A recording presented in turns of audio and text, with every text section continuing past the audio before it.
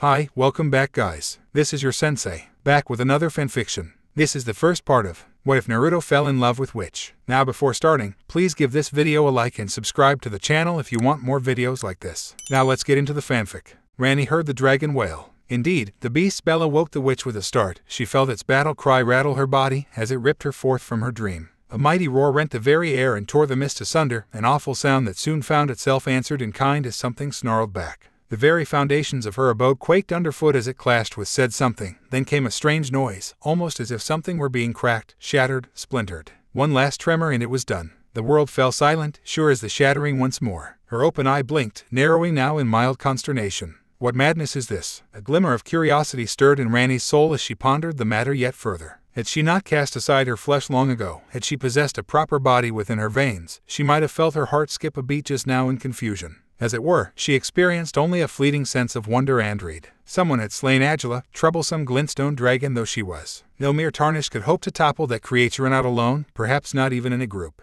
It was clever even among its kin, incredibly powerful in its own right, able to fell even giants with ease. And yet by the sudden silence that followed, it had surely been defeated, if not slain outright by an intruder. Who then possessed the strength for such a feat had the two fingers sent another assassin for her head another baleful shadow to end her life when she least expected it. They, she would not falter here, not when she was so close. Her intrigue thusly roused, Ranni rose from her sturdy chair, hopped off the great many books she'd placed there, and paced to the window. So was she granted sight. There in the fog betwixt her land and the tower she saw it, a great glowing golden on-black beast planting a paw upon the fallen dragon's spine. No, not a beast. Fox. The name sprung to her mind. It was a fox. The true size of this monstrosity and likewise its master's identity lay hidden in the murk, but she could see that it stood large indeed, larger even than the dragon itself easily big enough to pin her guardian as one might some unruly child. As she looked on aghast, those giant jaws snapped down at the guardian beast's prone form. There was no, rather than take the dragon's head and end its life as was its right, the giant fox roared at its captive. Before her very eyes, the dragon's body sagged beneath its snarl, head dipping in defeat. Or was it submission? Ranni found herself reminded of something she'd once seen in more peaceful times, an era before she'd cast aside the cruel certainty of her flesh for the unknown. She'd seen two hounds fight once in the yard. One had been larger than the other, and yet that same one had let its victim live. Strange. What use was mercy in this world? As she looked on the fox let the noble beast up, Ranni knew what would transpire. Such was nature. True to its very own, the dragon took full advantage. Wicked breath blasted the fox in the face. It recoiled with a pained snarl, then surged forward, barreling through the fire and the flames. Powerful jaws clamped down on the beast's throat as it wrestled the glintstone dragon down once more. It showed no mercy, and for the perhaps first time in forever, Ranni's nerve failed her. She closed her eye and looked away. An awful crunch filled the air. She heard the dull thud as its corpse struck the ground, felt it rattle her tower once more. When she looked back, there its broken body lay, plain as day. With neither word nor warning, that golden fox shrank down to assume the likeness of an equally golden human. Body burning brighter than the Erdtree itself, they seemed to set the very mists ablaze. She couldn't see his face from here, nor read his lips, but she saw the respect he gave the dragon. They touched a hand to its flank, and the beast's body dissolved into runes. The amount was not insubstantial. He'd been strong enough already that would only add to their strength. Pivoting, they made for the door with purpose. Their golden form strode toward the entrance, ripped aside the seal to her tower, and began the ascent. Just like a tale from the old stories mother read to her as a child, a knight slaying the dragon to rescue the princess fair. But she was no maiden to be rescued. Agila had been tasked with guarding her rise from unwanted guests, and while her death did not pain her as much as some, it was still an embarrassment to see one so mighty laid so low, so quickly. Who the devil was this man, and what did he want? She scurried back to her seat and made herself presentable while surreptitiously readying her sorcery. If he has come for her life, he will not find her unprepared. Perhaps if she remained perfectly still, he would not take notice. Her current body was that of a doll, after all. She had no signs of life within her save her soul, and that was not something one could so easily sense. And if her wood assailant thought her a mere puppet, a harmless doll to be ignored, all the better. He would lower his guard, be vulnerable. There she heard footsteps. Hello, a low voice called.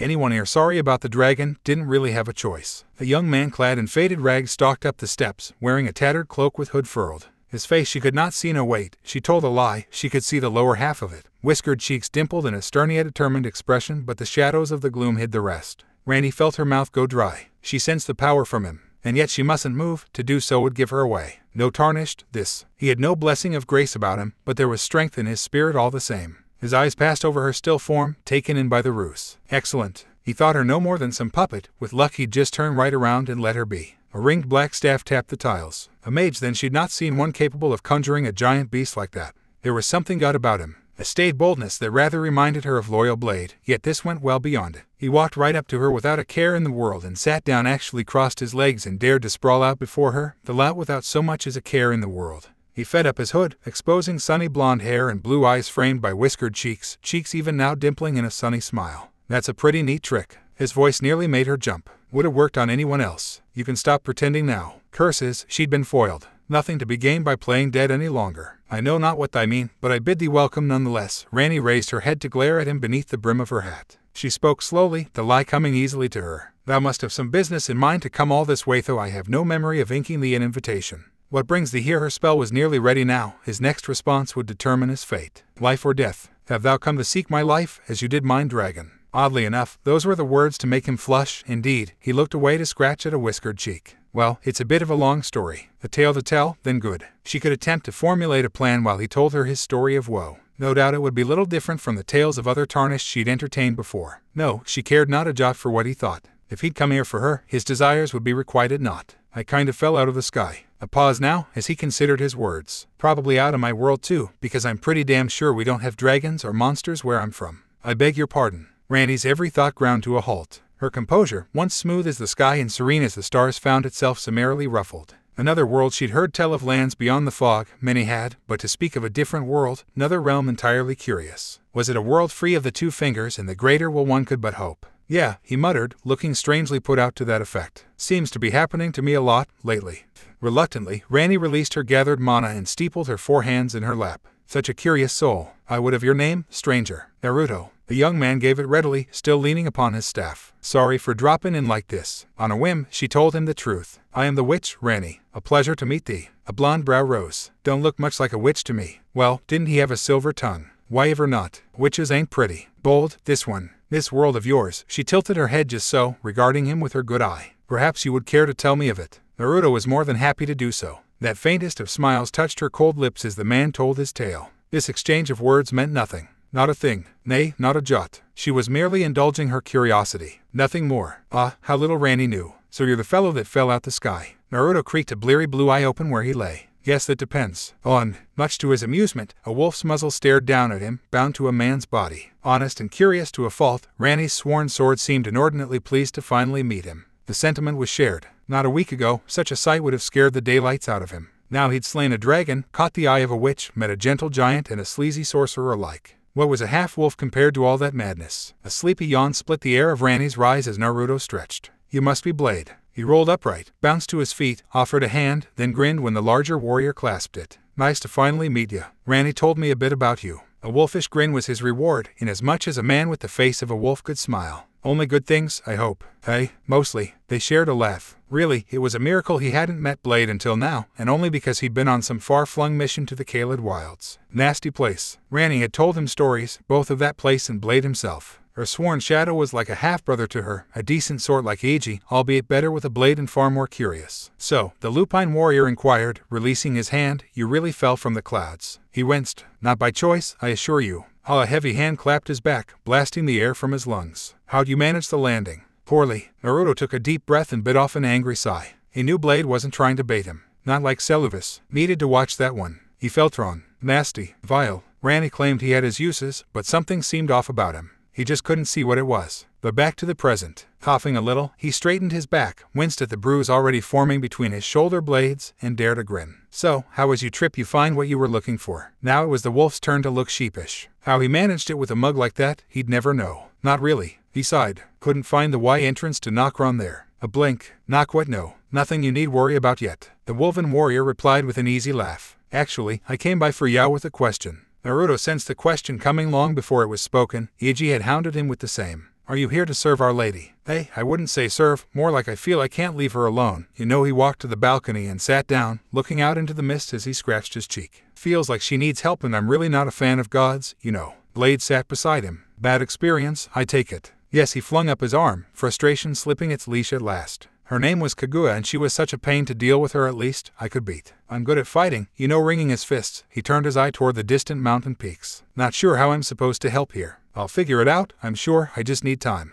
Then perhaps you'd appreciate a little diversion. Naruto blinked. He blinked hard. Wolfman say what now? I'm off to hunt down a traitor, you see. This time, there could be no denying the smug edge to the wolf's words. Was wondering if you'd care to join me. An idea dawned. He'd been so very bored these past few days. With Ranni asleep, her body required such for days at a time and little in the way of company beyond a bored Kurama, he'd found himself ranging further and further from the tower. Maybe a chance to stretch his legs was just what he needed. But first, tell you what, Naruto snapped his fingers. I'll go hunting with you if you help me with a little pet project of mine. Blaidd at his head like the loyal dog he was. And what might that be? I want to prank Ranni. Silence reigned. Pardon, Ranni. He spread his arms wide at his sides, warming to the words. I want to play a little joke on her while she's asleep. Try as he might, he couldn't quite keep the grin off his face. Help her lift her spirits, you know. Blaidd dithered, quite uncertain. She won't be hurt by this, will she? Hurt her, he didn't think he could bear to do that, not in his wildest dreams. For all her brave front and facade, he could read her easily. When she wasn't sleeping, she just sat there, alone, in her chair, staring wistfully out the window.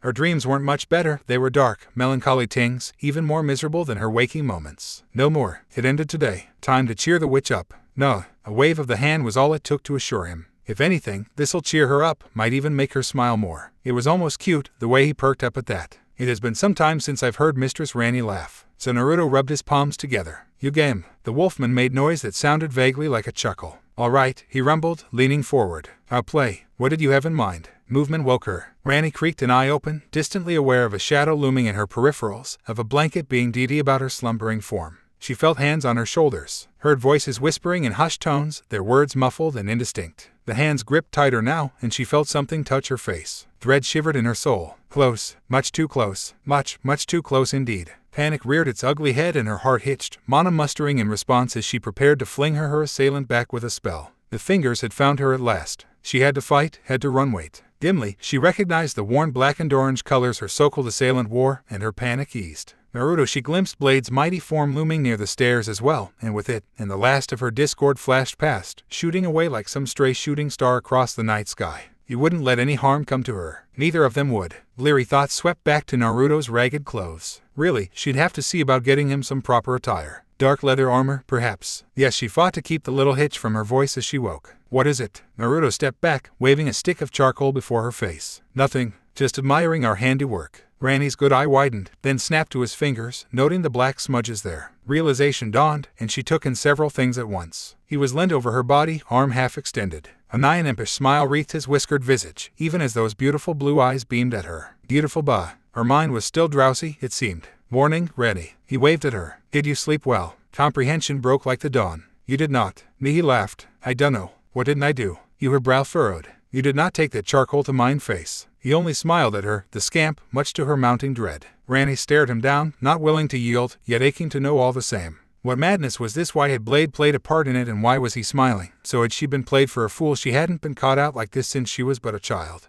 Was this was this a prank she'd never fallen prey to such? How quaint. Unfortunately, any amusement she might have felt was overshadowed by all this unyielding rage. I command you. Nope. Naruto shook his head. She hissed. You will tell me what you did. Nope. Answer me at once, lest I smite you where you stand. Nope. Third time's the charm, or so the saying goes. Finally, the tableau broke and Ranni reached up. Four fine hands flew to her face, patting it down exhaustively. Damn him. She'd been had. It would take forever to get all this gunk off her face, never mind the amount of time. They came away clean, not a single smudge to them. Ranni looked down at her palms, clean as ever. Back to him again. What sorcery is this you really didn't? Did you really think I'd be that mean? Naruto leaned back, still grinning like the cat that caught the canary. I mean, I thought about it, but still. Two fingers flitted forth, fing her forehead. Maybe don't take such a long nap next time, hey. A faint smile touched her pale face. Even pranked, taken for a fool. Of course, she couldn't let such slide. She'd seldom suffered such fun as a child, even with her own brothers. How long had it been since she'd smiled Henso? She would make him pay for frightening her, of course. He would rue the day. Her brow furrowed. I will have recompense for this. Good. Naruto chirruped happily, as though expecting it. Then you won't mind going for a walk with me and Blaidd. Ranni tilted her head, hiding beneath her hat. A walk? Whatever do you mean? Blaidd's smile was nothing but teeth. A very enthusiastic walk. When faced with such cheery grins, Ranni's spirit couldn't help but falter. It had been an age since she'd left her rise to see the outside world. She dared not venture out into the lands between alone, not for long, but if she were to be shepherded by these two, surely they could fend off any danger the fingers sent her way. I suppose I shall allow it. Naruto fell silent, and then, he lunged. Oh, you're still being at tsundere about this, how adorable. Strong arms locked around her, drawing her into a crushing embrace. Ranni's body lacked the ability to flush, but she burned with shame all the same. Unhand me at once, you oaf, she cried, wriggling in his arms. Forget I said anything, forget. He would not forget this moment, the baffling blonde. Then again, neither would Ranni. Was nice to talk a walk, Ranni considered. Granted, her current body wasn't best suited to travel, but the simple freedom of being out and about agreed with her. She could not feel the sun on her face, nor the wind in her hair, neither smell the fading scent of summer, or even taste the crisp tang of an afternoon apple, but she needed not those things. She could still see the beauty of this world with her lone eye and appreciate it, broken though it was. So too could she heard the birds, chirping happily as they flitted to and fro. Listening to them brought back distant memories of her youth, of simple times, when she'd been blissfully unaware of her destiny. It was enough. She spoke but little on their journey through Limgrave. In truth, Naruto and Blade were all too happy to fill the silence for her the former more than most. Ranni would never say it aloud, but still, it felt rather pleasant to simply listen for once and not dictate the pace of conversation. It behooved her to learn more of him, this champion who would take up her cause. He was strong, quite possibly the strongest in her employ. Not even Blaidd or Iji could wrestle down a dragon and break its neck. Yes, there was the reason she told herself. No other. She wasn't intrigued by him, nor the tales he told. Not in the least. Liar, liar. A little voice crooned in the back of her head. You're fond of him. He made you smile. Unbidden, Ranni found herself touching a hand to her mouth as Naruto continued to chat with her. It had felt good to smile, even if her body was no longer of flesh. But it would not distract her from her duty. She must be firm. She must be resolute. Like the moon itself, eternal and unyielding. Nothing less would do. Nay, she muttered to herself, tease nothing. When the subject veered toward family, however, it was there that things began to go awry. Naruto had described his parents to her before, shortly after their first meeting. He had not, however, informed her of this. Your parents are dead. Yup. It was the casual way he said it, hands folded behind his head, that rankled her so, more than words ever could. It's fine. They gave their lives for me, and I got to talk to him for a bit afterwards, so I don't mind. There was pain there, an old ache buried so deep that only a witch such as she could notice it. Besides, I think they'd like you. A pause now, as he scratched his chin, never once faltering. Well, Mom probably would. A rueful grin tugged at the corner of his mouth as he skirted a fallen tree. Yeah, definitely. Ranni's brow shot up.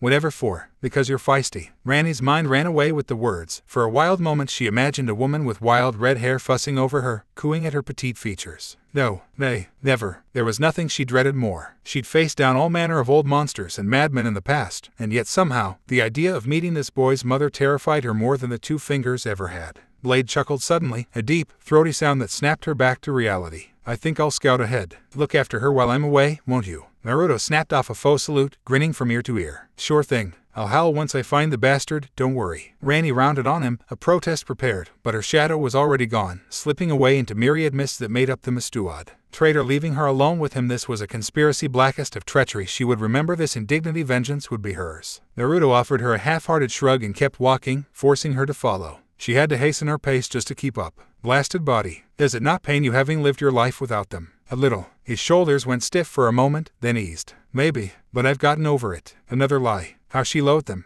A hand snatched at his sleeve, bringing him up short. You should not speak of such things lightly. I'm not, really. His brow furrowed, and he squinted at her as a fox might some baffling bird. Really, Ranni, I'm fine this time his smile was genuine. Sure, it hurts a little, but there's no point dwelling on the past and all. You've got family, right? You've never told me about him. She huffed, accepting the change of topic for what it was. Fine, fine. Be that way, would he? Ranni did not lie, rather, she couldn't, she was not capable of such in this form. I would not speak of it. All right, he shrugged. I understand. Ranni released his arm and muttered a half-hearted thanks under her breath. She'd cut ties with her family and the other demigods long ago, but at least they were alive for the most part. Of her, most remained. Radahn had gone mad with rot, left to wander the Caelid wild. Rykard yet lived, but as an abomination in the Volcano Manor, twisted and cruel. And dear Motherno, don't think about her. Rennala had been a wonderful parent. She wished to remember her as such, not the broken shell she'd become after father's departure. Then there lay her extended family. She'd never much cared for that madman Mohg, nor the bitter Morgott, let alone the twin prodigies Miquella and Malenia. Certainly not Queen Marika. Ah, but mother, mother, mother. She checked in on her from afar from time to time. Never in person, always via proxy. It pained her to see how she'd fallen in her absence. Rennala had been a brilliant scholar and warrior queen both, a mistress of magic capable of winning the heart of Radagon himself until he cast her aside for that queen.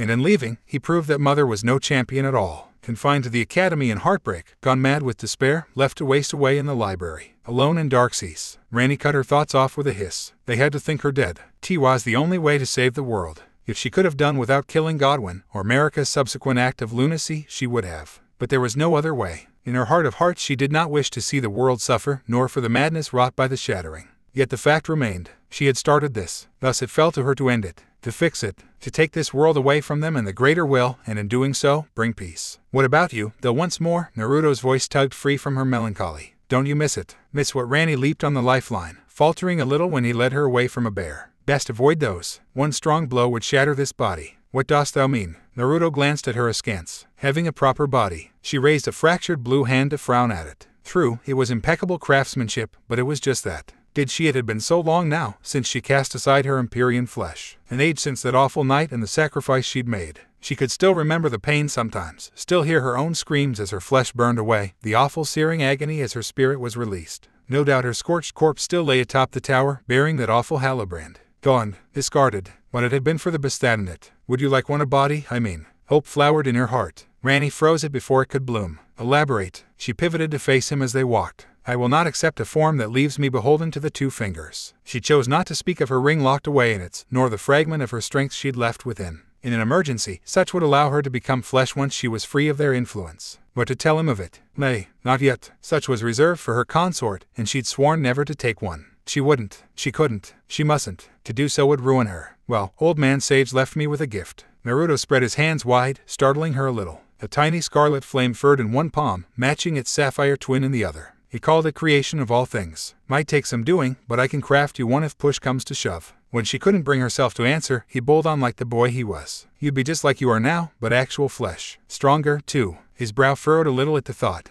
I'm not very good at it, so you'd have to, well, guide the jutsu as it were, but still. Ranni's spirit soared. He was offering to make her current form flesh, forearms and all. She might even be able to make herself taller. Coupled with her ring, it would return her to full glory and more. She would be able to fully experience the world as she saw fit, without sleeping for days at a time, forced to maintain her tenuous hold over this farce of a figure. If her doll body shattered, she could take another, though it would be difficult. If she was flesh and something managed to kill her, kill her properly. Fear reared its ugly head. Nay, she couldn't do it. You make an enticing offer. She swallowed the sudden surge of need. But nay, not yet, and refrain from doing anything that would imperil thine health. I would not see thee come to harm. So you do care. It teased, dogged fool. She slapped his arm and let her lead him onward. You should learn to hold thy tongue. But your smiling Agenuf he folded a little when two elbows hit his ribs. How can someone so small hit so hard? Ranni's glare promised pain. Naruto laughed, sly fox that he was. HRMPH. Perhaps he wasn't quite the fool she thought him to be. Dense he might be perhaps, and certainly was at times but a keen mind lurked beneath the surface. When forced to apply himself, he held a rather sharp wit. Didn't stop her from taking her frustrations out on him, though. Oh, he was still laughing when she pinched him. Okay, okay, I give G's, you moody girl. They walked in companionable silence for a moment more. A howl pierced the Mistwood. Oh, ah, seemed Blaidd had found what he sought, then. Naruto nudged her side. You're really fond of the big guy, aren't you? Blaidd and Iji both are willing to give too much to me. Ranni watched her shadow range ahead of them, smiling softly. Yet they both understand what lieth beyond the dark path. Her four hands clenched at her sides as she recalled the grim fate that lie in wait. That I must betray everything and rid the world of what came before. Ominous. He hummed, but didn't protest. Should I add thee to the list? To her good I sought his as she offered him a sultry smile. Another one, kind of heart. Kinder even than they. Much to her delight, he flushed and looked away. Ranni preened but a little, inordinately proud of her accomplishment. Ahati would seem the teaser could be teased in turn she would savor this victory. It came to a fight once they reached Limgrave of course, as all things did. How Knight Darriwil was a savage sort. Even trapped within the jail, he refused to hear reason. Scarce had they come upon him, than he attacked. Naruto tried to talk him down as was his wont, but the poor soul was madness incarnate and lived up to his name in all his wide glory. It was scarcely a fight, more a slaughter. Ranni was only just preparing her most powerful spell when Naruto and Blaidd fell upon him. The doomed soul didn't last ten seconds. In the end, it was Blaidd's Wellblade that did him in. Skewered upon the ground, he wasted away into nothing, dissolving into a bevy of runes, runes that soon became theirs. The amount was not insubstantial. Poor guy. Naruto knelt, retrieving the man's fallen blade. Does this happen to all tarnished? Eventually. Some, Ranni confessed. But thou art no tarnished. And good thing for that. He muttered, hefting the sword. Hey, Blaidd, any chance you could teach me how to use this thing? Don't see why not the hulking warrior lumbered over to consider his prize. Seems a good sort and you've got decent reflexes. Might be able to teach you a thing or two. Nice. On a whim, Ranni made her decision. For Blaidd, his reward was merely being in her presence, but Naruto deserved a reward, did he not? I have a gift for thee. She reached into her satchel and pulled out a small parcel, wrapped in white cloth. I will not always be able to accompany you on your travels. Should you and Blaidd range forth again, I would have you take this with you. Four hands pressed it into his two. Take it, with my blessing. Awa, a mini Ranni Naruto peeled back the cloth and cooed, cradling it with his hands. How adorable. Shame flooded Ranni's very being. What had she been thinking, giving him that she'd done it on a whim, but now she almost found herself regretting it. The way he cradled the little thing, then placed it in the pouch at his side was gentle with it. Almost too gentle. Had he ascertained the doll's true purpose, did he see her ulterior motive through it, she would be able to observe him, communicate even, if need be, should anything go awry. It was a useful tool, all things considered, and it would serve to better her measure off him. But now Naruto was looking at her, and she knew that look. Nay, she backed away quickly, knowing full well what he was about to do. Do not embrace me again. Remarkably, he didn't. The baffling blonde just smiled at her. You're really a sweetheart, ain't ya? Ranni didn't budge. So you won't embrace me, then? Not if you don't want me to, came the reply. Her tongue betrayed her. Pity. His eyes widened. What? Blaidd laughed aloud. Its Ranni flailed, arms waving wildly. This form hath loosened my tongue. I've let slip too much. Hey, mine words no heed. Naruto most certainly did not. On the contrary, his cheeky grin said he'd remember every bit of it, much to her chagrin. Forget what thou'st heard the words came easily to Ranni once more, her face burning with shame. Forget. Maybe no, no, no. That won't work. Unless. Naruto was muttering to himself again. It was driving Ranni mad. He'd been like this for several days now, hunched over a crude table he'd crafted, nearly to the exclusion of all else. Ordinarily, such wouldn't have bothered her overmuch. She had much to do, the city of Nokron need be found, and she could scarcely spend every waking moment observing his comings and goings. But his refusal to let anyone near, nor allow her to see what he was working on, that aroused her curiosity, and it, unlike her fragile body, was not something so easily put to bed. Even now the witch found herself pursing her lips as she considered the top plane of his back before her, stern shoulders hunched over the table as he scribbled something down in a book. His poor vest had fallen to rags at long last, leaving him clad in little more than the mesh undershirt beneath until they could find him proper armor. The cold didn't seem to bother him anyway, not down here in his study. He was much, much, much too preoccupied to give it even the slightest iota of attention. Among other things, hem, Ranni tilted her head to the right, then tilted it some more. He really didn't notice her. Aha, Naruto grunted suddenly and jotted something down. That one's a keeper. Might use it later. And if her gaze lingered when he wasn't looking well, who was to know a soul she still might be, and her body no longer of flesh, but Ranni found she could find things pleasing to the eye. The way the faint light of the candle set fire dancing off his skin. That sort of thing. Purely in the aesthetic sense, of course. To suggest otherwise was treason. Might need some advice. His words had her ear perking up, if only for a moment. Could probably ask her. He was fit as only a proper warrior could be, not overly muscled like some brutes she'd seen, but neither could he be called lean, either. His was a proper balance, the sort one might expect from one accustomed to little armor and light movements. Even in his mania he moved with cat-like grace. Was he even aware of how dangerous he appeared his posture hunched, eyes shadowed, the faintest smile plucking those whiskered cheeks, dimpling down into lips she could imagine crushing against her own. Treachery Ranni reared back with a start, eye wide. Where had that thought come from? She could not. She would not. She must not. That way lay only pain. Incensed, anger got the better of her. What art thou doing? Lights flared. Ranni Naruto yelped and pivoted in place, knocking the table aside, nearly cutting a circle in the floor of her tower as he whirled to face her, such was his speed. Nothing, not a thing, nope. She beheld the panic burning in his eyes sure as day. If that weren't enough, she'd seen him hide something behind his back just now. It wasn't her doll, thank the stars. She didn't know what she'd do if she found him playing about with that. No, she'd glimpsed a flash of ink and some parchment just now. Was he writing something he'd mentioned to she earlier? What manner of plot was this? Is that what I think it is? He dug his heels in. Depends. The ghost of a scowl touched her face. On. Naruto squared his shoulders. On what you think it is. Oh, he was going to be like that, was he? Well, two could play this game. Her left foot began to tap against the ground. Cease this foolishness at once, Naruto. He lifted his chin in mulish defiance and didn't budge. No idea what you're talking about, Ranni. She huffed angrily at him. Naruto. He smiled right back. Ranni. Once more, an impasse stretched between the two of them. Ranni crossed all four arms before her bosom. This time she was determined to be the victor. No tricks or traps would save him this time. He might be strong, but she had the patience of eternity. If he thought to outlast her, he would be sorely disappointed. Look, Naruto stabbed a finger behind her. Its Blaidd. Against her better judgment, Ranni heeded his words and spun. There was no sign of her loyal stepbrother to be found. Not a jot. Naturally, when she looked back, Naruto was nowhere to be seen either. The fiendish fox had taken his chance and scarpered.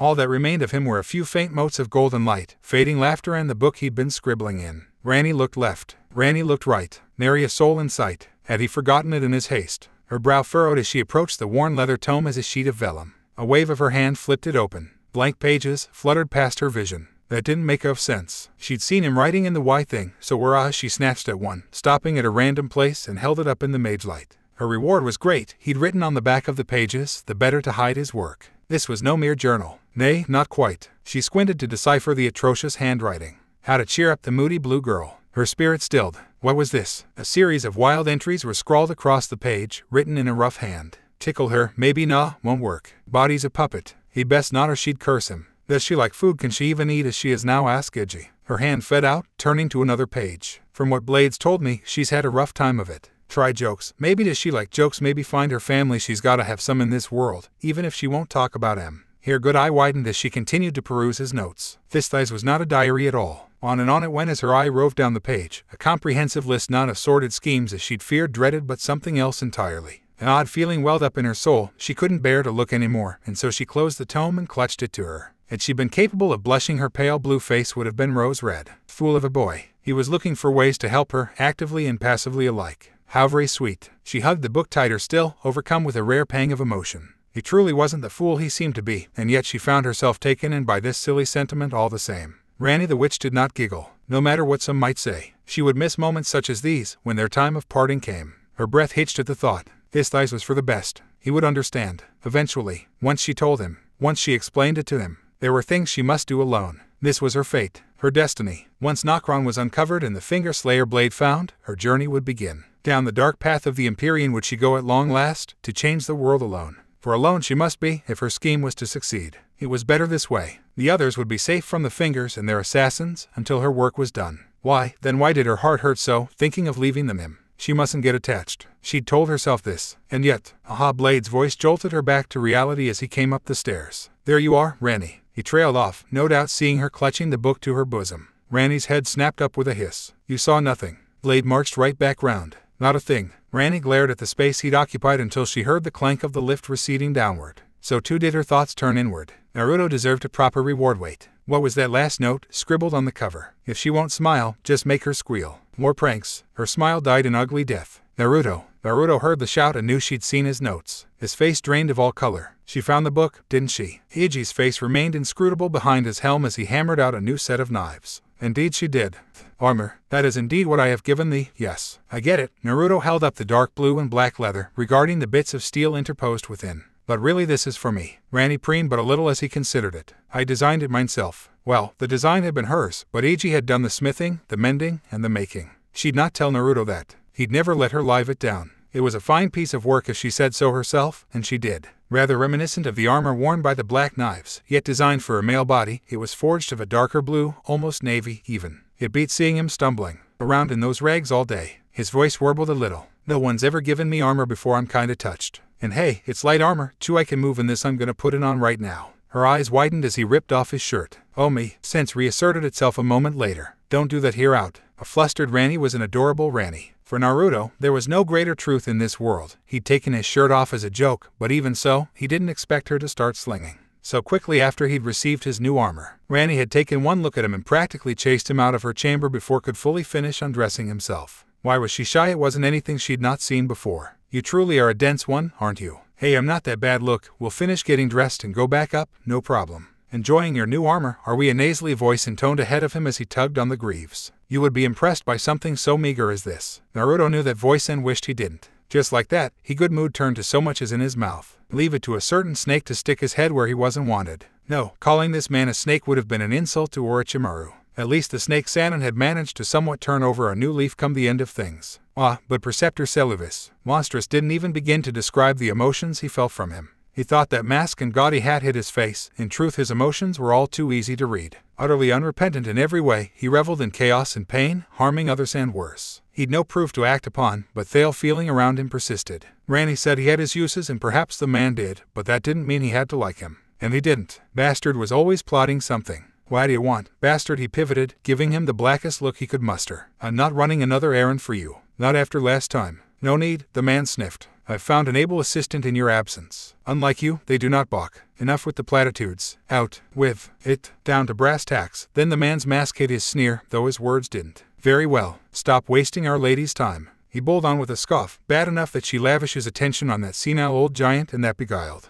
Of hers, but you he has no need of a worthless stray like you. Still he sniped back. You are a blunt instrument, little more. I thought perhaps you might yet have your uses, but you'd since proven me wrong. Naruto stepped to him. He knew that tone. He loathed it, because I wouldn't give that girl your potion. The little man didn't waver. You do not have the stomach required for this path. Let me eat him. Kurama, no. You'll get indigestion. Just one bite. That's all I ask. A little off the top. He almost found himself tempted. That would be his head, you know. Precisely. You do realize she has no use for you. Seluvis continued to twist the knife as he stood there, seething. You are a court jester, little more. She will tire of you before long as she is others. Fine. He wanted a war of words he hadn't been idle while he was here. Funny, coming from the guy who reminds me of Orochimaru. The mage stilled. Whatever does that mean? It means I don't trust you. He grabbed the preceptor by his shirt. You step one foot out of line, and the foot comes off. My, my, quite the aggressive thing she's made you. A hand batted his palm away. I didn't think you'd come to care for a doll. She is not a doll. Anger slipped its leash at last, and he reared back with a hiss. She's a person unlike you. You're a monster. How do you even live with yourself? Seluvis went still. Be that as it may, I am far too useful for her to cast aside. Oh, Naruto returned his sneer with a far more fearsome one, head pushing against his. And what have you done lately? A Blaidd keeps Ranni safe. I make her happy. Iji provides good counsel as well as repairing our weapons. Hell, the three of us will probably find Nokron long before you do. But you all you've done is cower in your tower. So the question you need to ask yourself is this what good are you? The man balked, and his point made, the blonde whirled away, stalking off before the preceptor could hope to get a word it. He wasn't quite quick enough. The sly sorcerer caught him at the door. You do realize she will die if things continue as they are. Naruto froze. I speak of Lady Ranni, of course. Seluvis practically oozed smugness as he pivoted to face him. How long will that body last? How long can she keep her soul shackled to that feeble doll before it fades entirely when he didn't reply? The madman tittered softly. If you truly wish to grant her the destiny she desires, to free her from the shackles of her fate, then you must kill General Radahn and release the stars. Only then will you be able to find that which she seeks. You want me to kill a man on your word alone, Naruto scoffed, not believing him for a moment. You're lying. I am many things, but a liar is not one of them. A scroll bounced off his. My associate Sellen will confirm everything I just told you. Seek her out if you don't believe me. I ain't killing anyone. An angry blue eye gleamed over his shoulder as he wrestled his temper down. Mustn't rise to the bait. Thanks for the tip. I'll look into it. Or perhaps you could simply ask Lady Ranni. There was something in Seluvis' voice now. After all, the dear general is her beloved brother. Naruto knew the sorcerer was trying to sow doubt in his heart. Even so, his world went cold. What? Oh, the slimy snake smirked, reeling him in. My, my, didn't she tell you it must have slipped her mind? Since our fair lady seems to have forgotten, perhaps I should also tell you of Praetor Rykard or poor, poor Rennala. You have a brother. Ranni shifted restlessly in her chair atop her books, trying and failing to quell the sudden pang of dread she experienced at Naruto's inquiry. It was no use. His glare pinned her, rooted her where she sat. Worry writhed up in her heart, fracturing her calm, scattering her self-control to the four winds. She knew that look well. It was the look of an angry man, one who could not be reasoned with, couldn't be dissuaded, nor distracted, nor diverted. And so she schooled her face into an impassive mask, lifted her chin, looked him straight in the eye, and spoke. Oh, whatever brought this on? Naruto absolutely twitched. If there had been a door to her chamber, he would have slammed it behind him.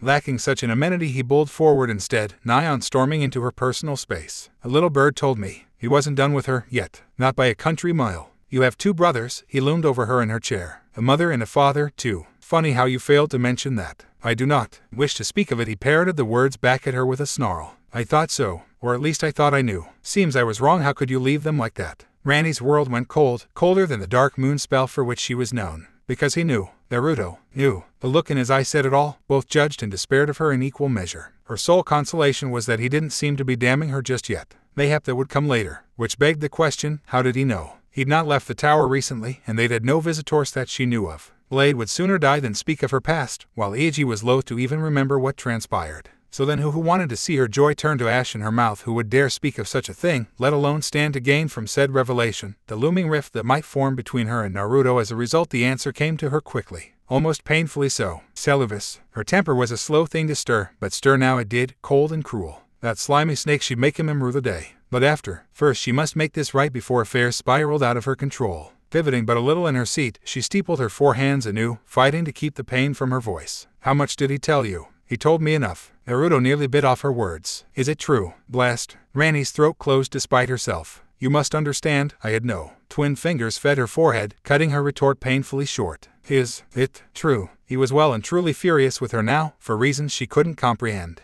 Why, for her keeping secrets, he'd seemed fine with it when last they spoke. Why would he be so angry now? He, who had never poked her, never prodded her beyond her means, not truly to now be incensed beyond measure, it baffled her beyond measure. Did you know what happened to them? What they became? Her silence must have been answer enough, because he bridled. How could you leave them like that? I would have killed, killed. He tore at his hair, to have a huge family like yours, especially growing up. The naked pain in his eyes brought her up short. All my life, I grew up with nothing. I came from nothing. To just have a single sibling that would have meant the world to me. You had more and you abandoned yours. I thought you understood. Rainy reared back, I wide. Then she surged forward. I do understand she hopped down off her chair and glared up at him blast his height as best her feeble frail body would allow. I loved my family. Something cracked in her body as she moved a tad too fast, but she paid it no heed. I do love them. Then why did you let them fall apart like that? What would you have me do? She grabbed a fistful of his hair and yanked his head down to hers. Storm Volcano Manor and slay Rykard with what army we were but three before you came along. I cannot hope to face him. A single blow would surely shatter this body of mine and he would devour my soul. Is that what you want me to join his wretched family? Naruto recoiled, but she was too lost in her rage to care. And let us not forget dear brother Radahn Ranni cracked the verbal whip that was her tongue, relishing in his flinch, the great General Radahn foremost warrior of his generation. Strongest of the demigods as I am now, I'm not but kindling compared to him she snapped her fingers, producing a hollow pop.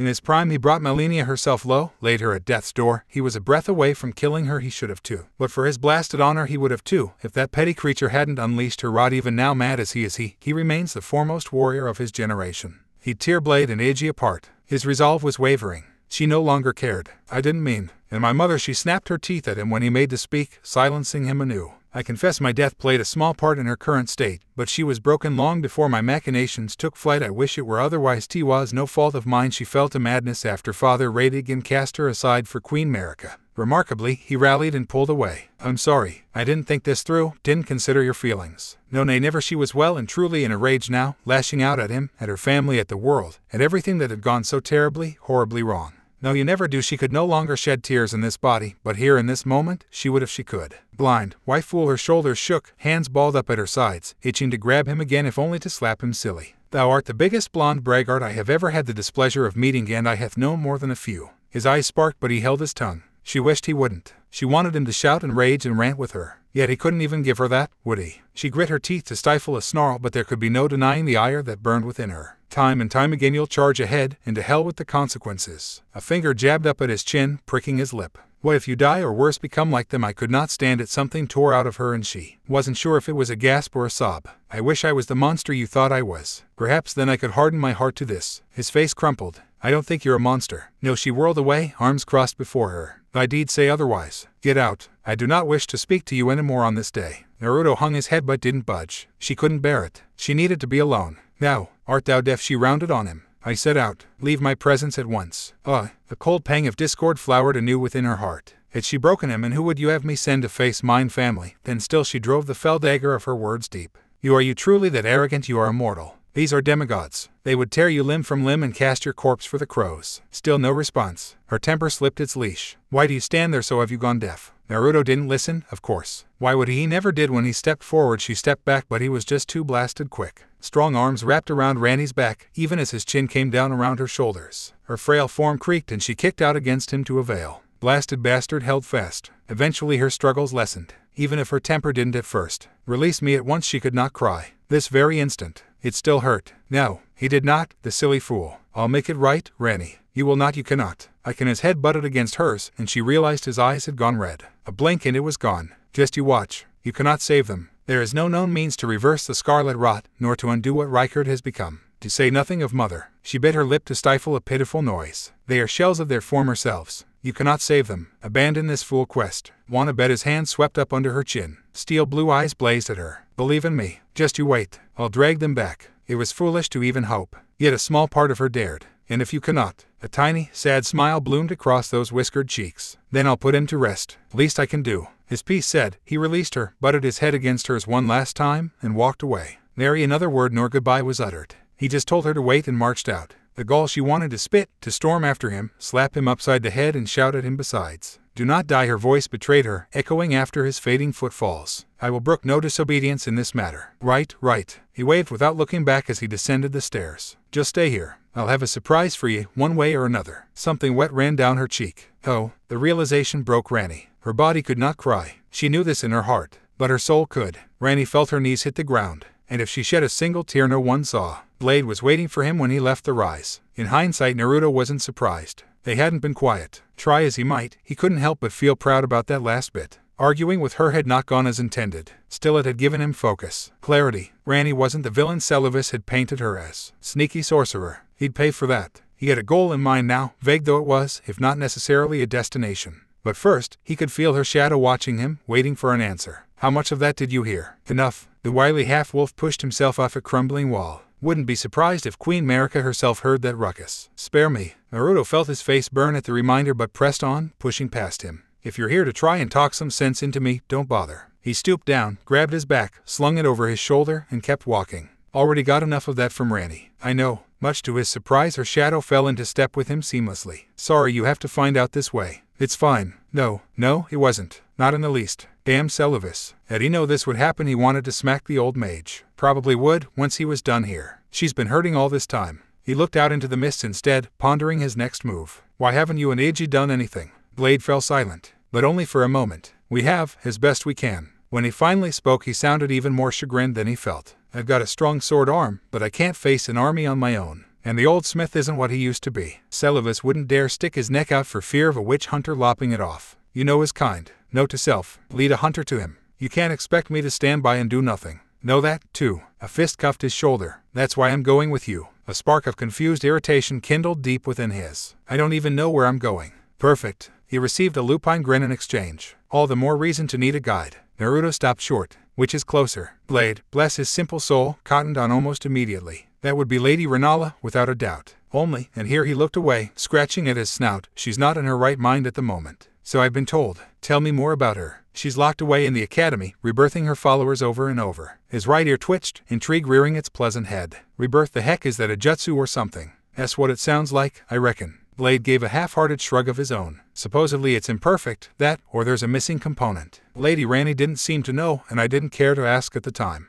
Craning his neck back, he spared the tower a glance. I could go up there and ask. A crash came from the upper level, followed by a frustrated shout. Both men winced. Never mind. Naruto prodded him. There's something else you're not telling me. Not by choice, my friend. For the first time since he'd met him, Ranni's shadow shook physically shuddered as he'd never shivered before. I've seen the things in that room through the looking glass. Another tremor? No. She's got a gaggle of giggling girls dragging themselves across the floor, biting at your ankles. The room itself is a trap. Anyone who enters doesn't emerge again. They become one of those things. But she's not actively trying to harm people, is she Naruto posited. She just defends herself from intruders. For the most part, yes. Which would you say is the most dangerous he had to know, else he'd never be able to live with himself to themselves, or others who should be dealt with first. Radahn's trapped in Caelid last I heard, before his very eyes, a finger pointed to the east, while old Rykard's hiding in Mount Gelmir, near the Volcano Manor, supposedly. Now that Lone Digit swept toward the west. Both are clear across the kingdom in any case, and in different directions at that.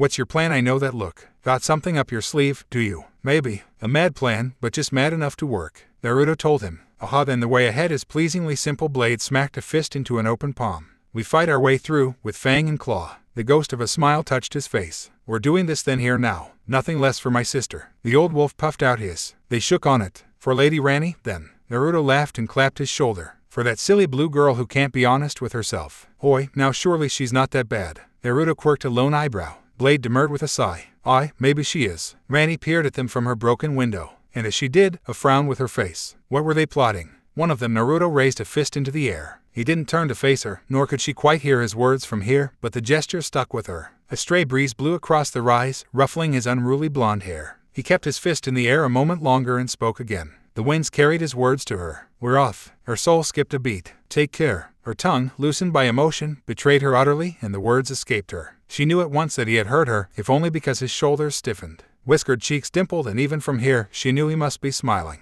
Ranni's shattered soul seared at having been caught out, and she ducked back in. Take care she was no housewife to send them off, no mere muling maiden to wish them well. The witch buried her head in all four of her hands. Blast, blast it, blast it all. He'd best come back safe. The last she saw of them, they marched into the mists. To be a knight was to hold honor above all. Honor to one's house, honor to one's lord or lady, and honor to one's self. Such vows could not be foreseen, even unto death. Indeed, as tarnished they transcended it which made it somewhat flabbergasting for Moongrum, Carian Knight, when he found himself face to face with his own demise. Such was no unexpected, of course, as the last line of defense for Lady Rennala, it fell to him to ward off any assassins or wood visitors. Few indeed were those who made it past him. And yet here he found himself, sprawled out like a helpless recruit in the muck, beaten and battered from head to toe. Sorry about this, a young, drawling voice echoed over him. Take a little nap for a bit, would ya? A fist descended and he fell into the sweet embrace of slumber. Forgive me, my lady, I've failed. The doors parted. Rennala paid them little heed at first. Why should she? She had no fond thoughts for doors. Doors were meant for closing, not opening.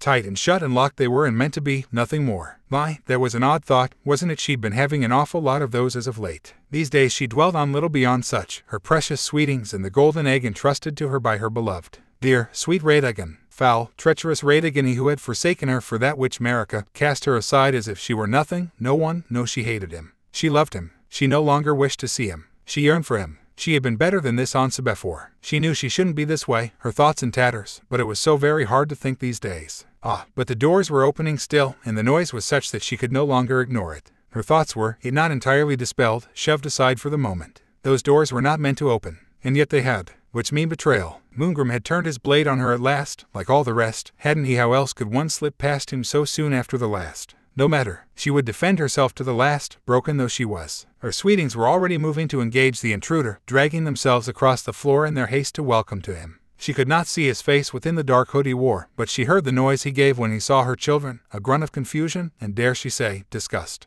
Hush, little Culver, she hummed softly to herself. I'll soon birth thee anew, a sweeting, fresh and pure. Gloved fingers peeled back his hood, exposing his face. Sorry, I'm afraid I'll have to pass. Thought trailed off as she laid eye on the warrior. This blond boy who had just walked right past her sweetings, heedless of them nipping at his heels. He saw her. He looked up at her now, peered past her golden shield, with eyes of molten gold. Those eyes, the look in them, gentle yet strong. You're Ranni's mom, ain't ya? There was a grim countenance about him, and a staid boldness that she recognized. He reminded her of him. Radagon, lacking in stature perhaps, and not a hint of those flowing red locks, but the eyes, oh the eyes. They were gold, just like her beloved. Her mind flinched aside at the thought. I'm here to ask you about this whole rebirth thing you've got going on. He called up to her. Would you mind answering a few questions? Curiosity dawned with Rennala's ravaged mind, bringing with it a rare moment of lucidity. You wish to be reborn after all, then? No, no, he waved both hands emphatically. Not me. I'm here to ask for another. How does it work? His eyes settled upon her egg. Got something to do with that, does it? Too clever by half, this one. Alas, her moment of clarity faded, taking that sliver of sanity with it. Come, she crooned, beckoning unto him. Let me show thee. Don't bother. A low, familiar voice intoned, a bitter blade to cut through her thoughts like a knife. She's lost her mind. You'll have to snap her out of it. Hoy the blonde rounded on him.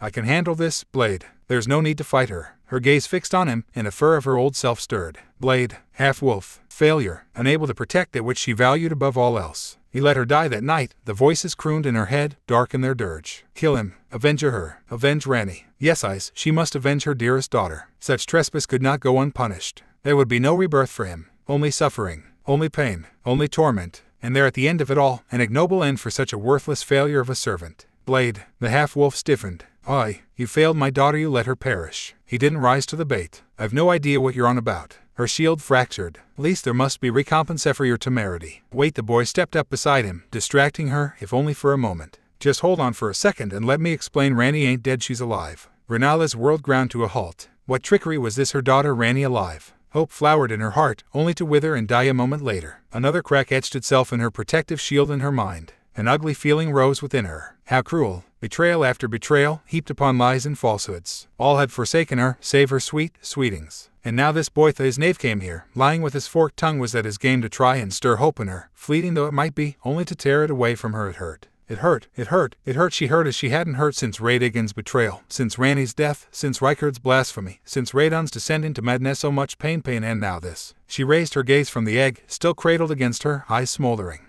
You lie. I really don't. How could he smile so? When he spoke wickedness, if you hear me out, I'm sure we can come to an understanding. Another fracture, another break. Her fingers tightened round Radagon's egg, scratching the surface. Why must he persist in such spiteful slander? Do not defile my daughter with your falsehoods, she ground her teeth, strangling a snarl. Let her rest in peace. Oi, I ain't lying. Look, he reached into his pocket. I've got a doll of her right here. She can communicate through this. Here, listen. He offered it unto her, but it was silent in his grasp. His face paled. Ranni a little help mind saying something still he blanched. Shaking the doll availed him not. Don't tell me she took another nap of all the time to fall asleep. Indeed, the doll said not a word, and with each moment of its silence, Rennala seethed anew. More ticks, and now he thought to deceive her with a facsimile. I won't have another whiff of thy rotten breath. Her shield shattered around her, shards of golden glass falling to the floor like so much rain. Trembling feet alighted upon the cold, unfeeling ground, standing for the first time in an age. And with it her fury, it all came rushing back. For so long she had lain in her grief, wallowed in as a wretch would. She'd not fought or resisted, nor raised a hand against anyone, save for self defense. Even as her husband forsook her, her family abandoned her, children perished one by one. As the Academy turned against her and shuttered her away, not a once had she willingly sought to harm a single solitary soul. But even the mad have their limits. Rennala had just reached hers. They thought her mad, did they? She would show them mad.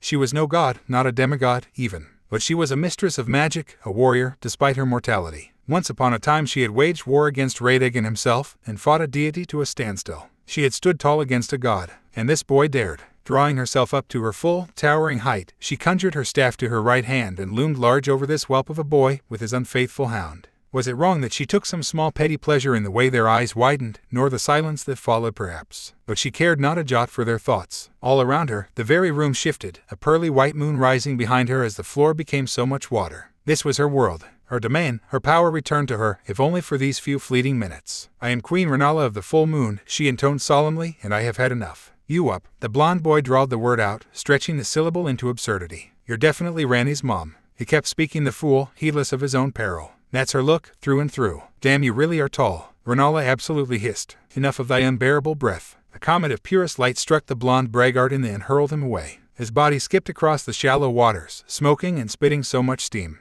Without bothering to ascertain his fate, she rounded on her daughter's stoic shadow. Credit where it was due, Blaidd did not waver, nor did he draw his sword. He stared his death in the eye and seemed to welcome it wholeheartedly. More fool he, too his end would be a swift one even if he didn't deserve such. And for for thee, disloyal dog. She raised her scepter with a sneer. Join mine daughter in destined death. Someone tugged her sleeve. Rennala whirled in place. Sorry about this. Something struck her in the stomach, staggering her. She doubled over with a gasp, folded over the clenched knuckles even now protruding into her torso. But only for a moment. Her hand cracked out, batting the blonde aside. A spellbutt winged out after him and was summarily slapped aside. Then another, another still, each casually deflected with a single hand, as someone had once done before him. Hatred boiled into mindless frothing fury, red overtaking her vision. Rennala raised her scepter with a shriek, and the battle was joined. Radagon, you wretched man. What in the blue hell is a Radagon? Even in madness, Rennala's spells hit hard, terribly hard. Naruto cursed himself for the slip even as he hurtled backwards, armor smoldering, face twisted in pain. It struck the water's surface like an arrow loosed from a bow. Solidly. Unlike normal water, it held Thai's time and he slammed into it as one would a bright wall. He'd let himself get hit again. Sloppy. Kakashi would have face bombed. Very sloppy in.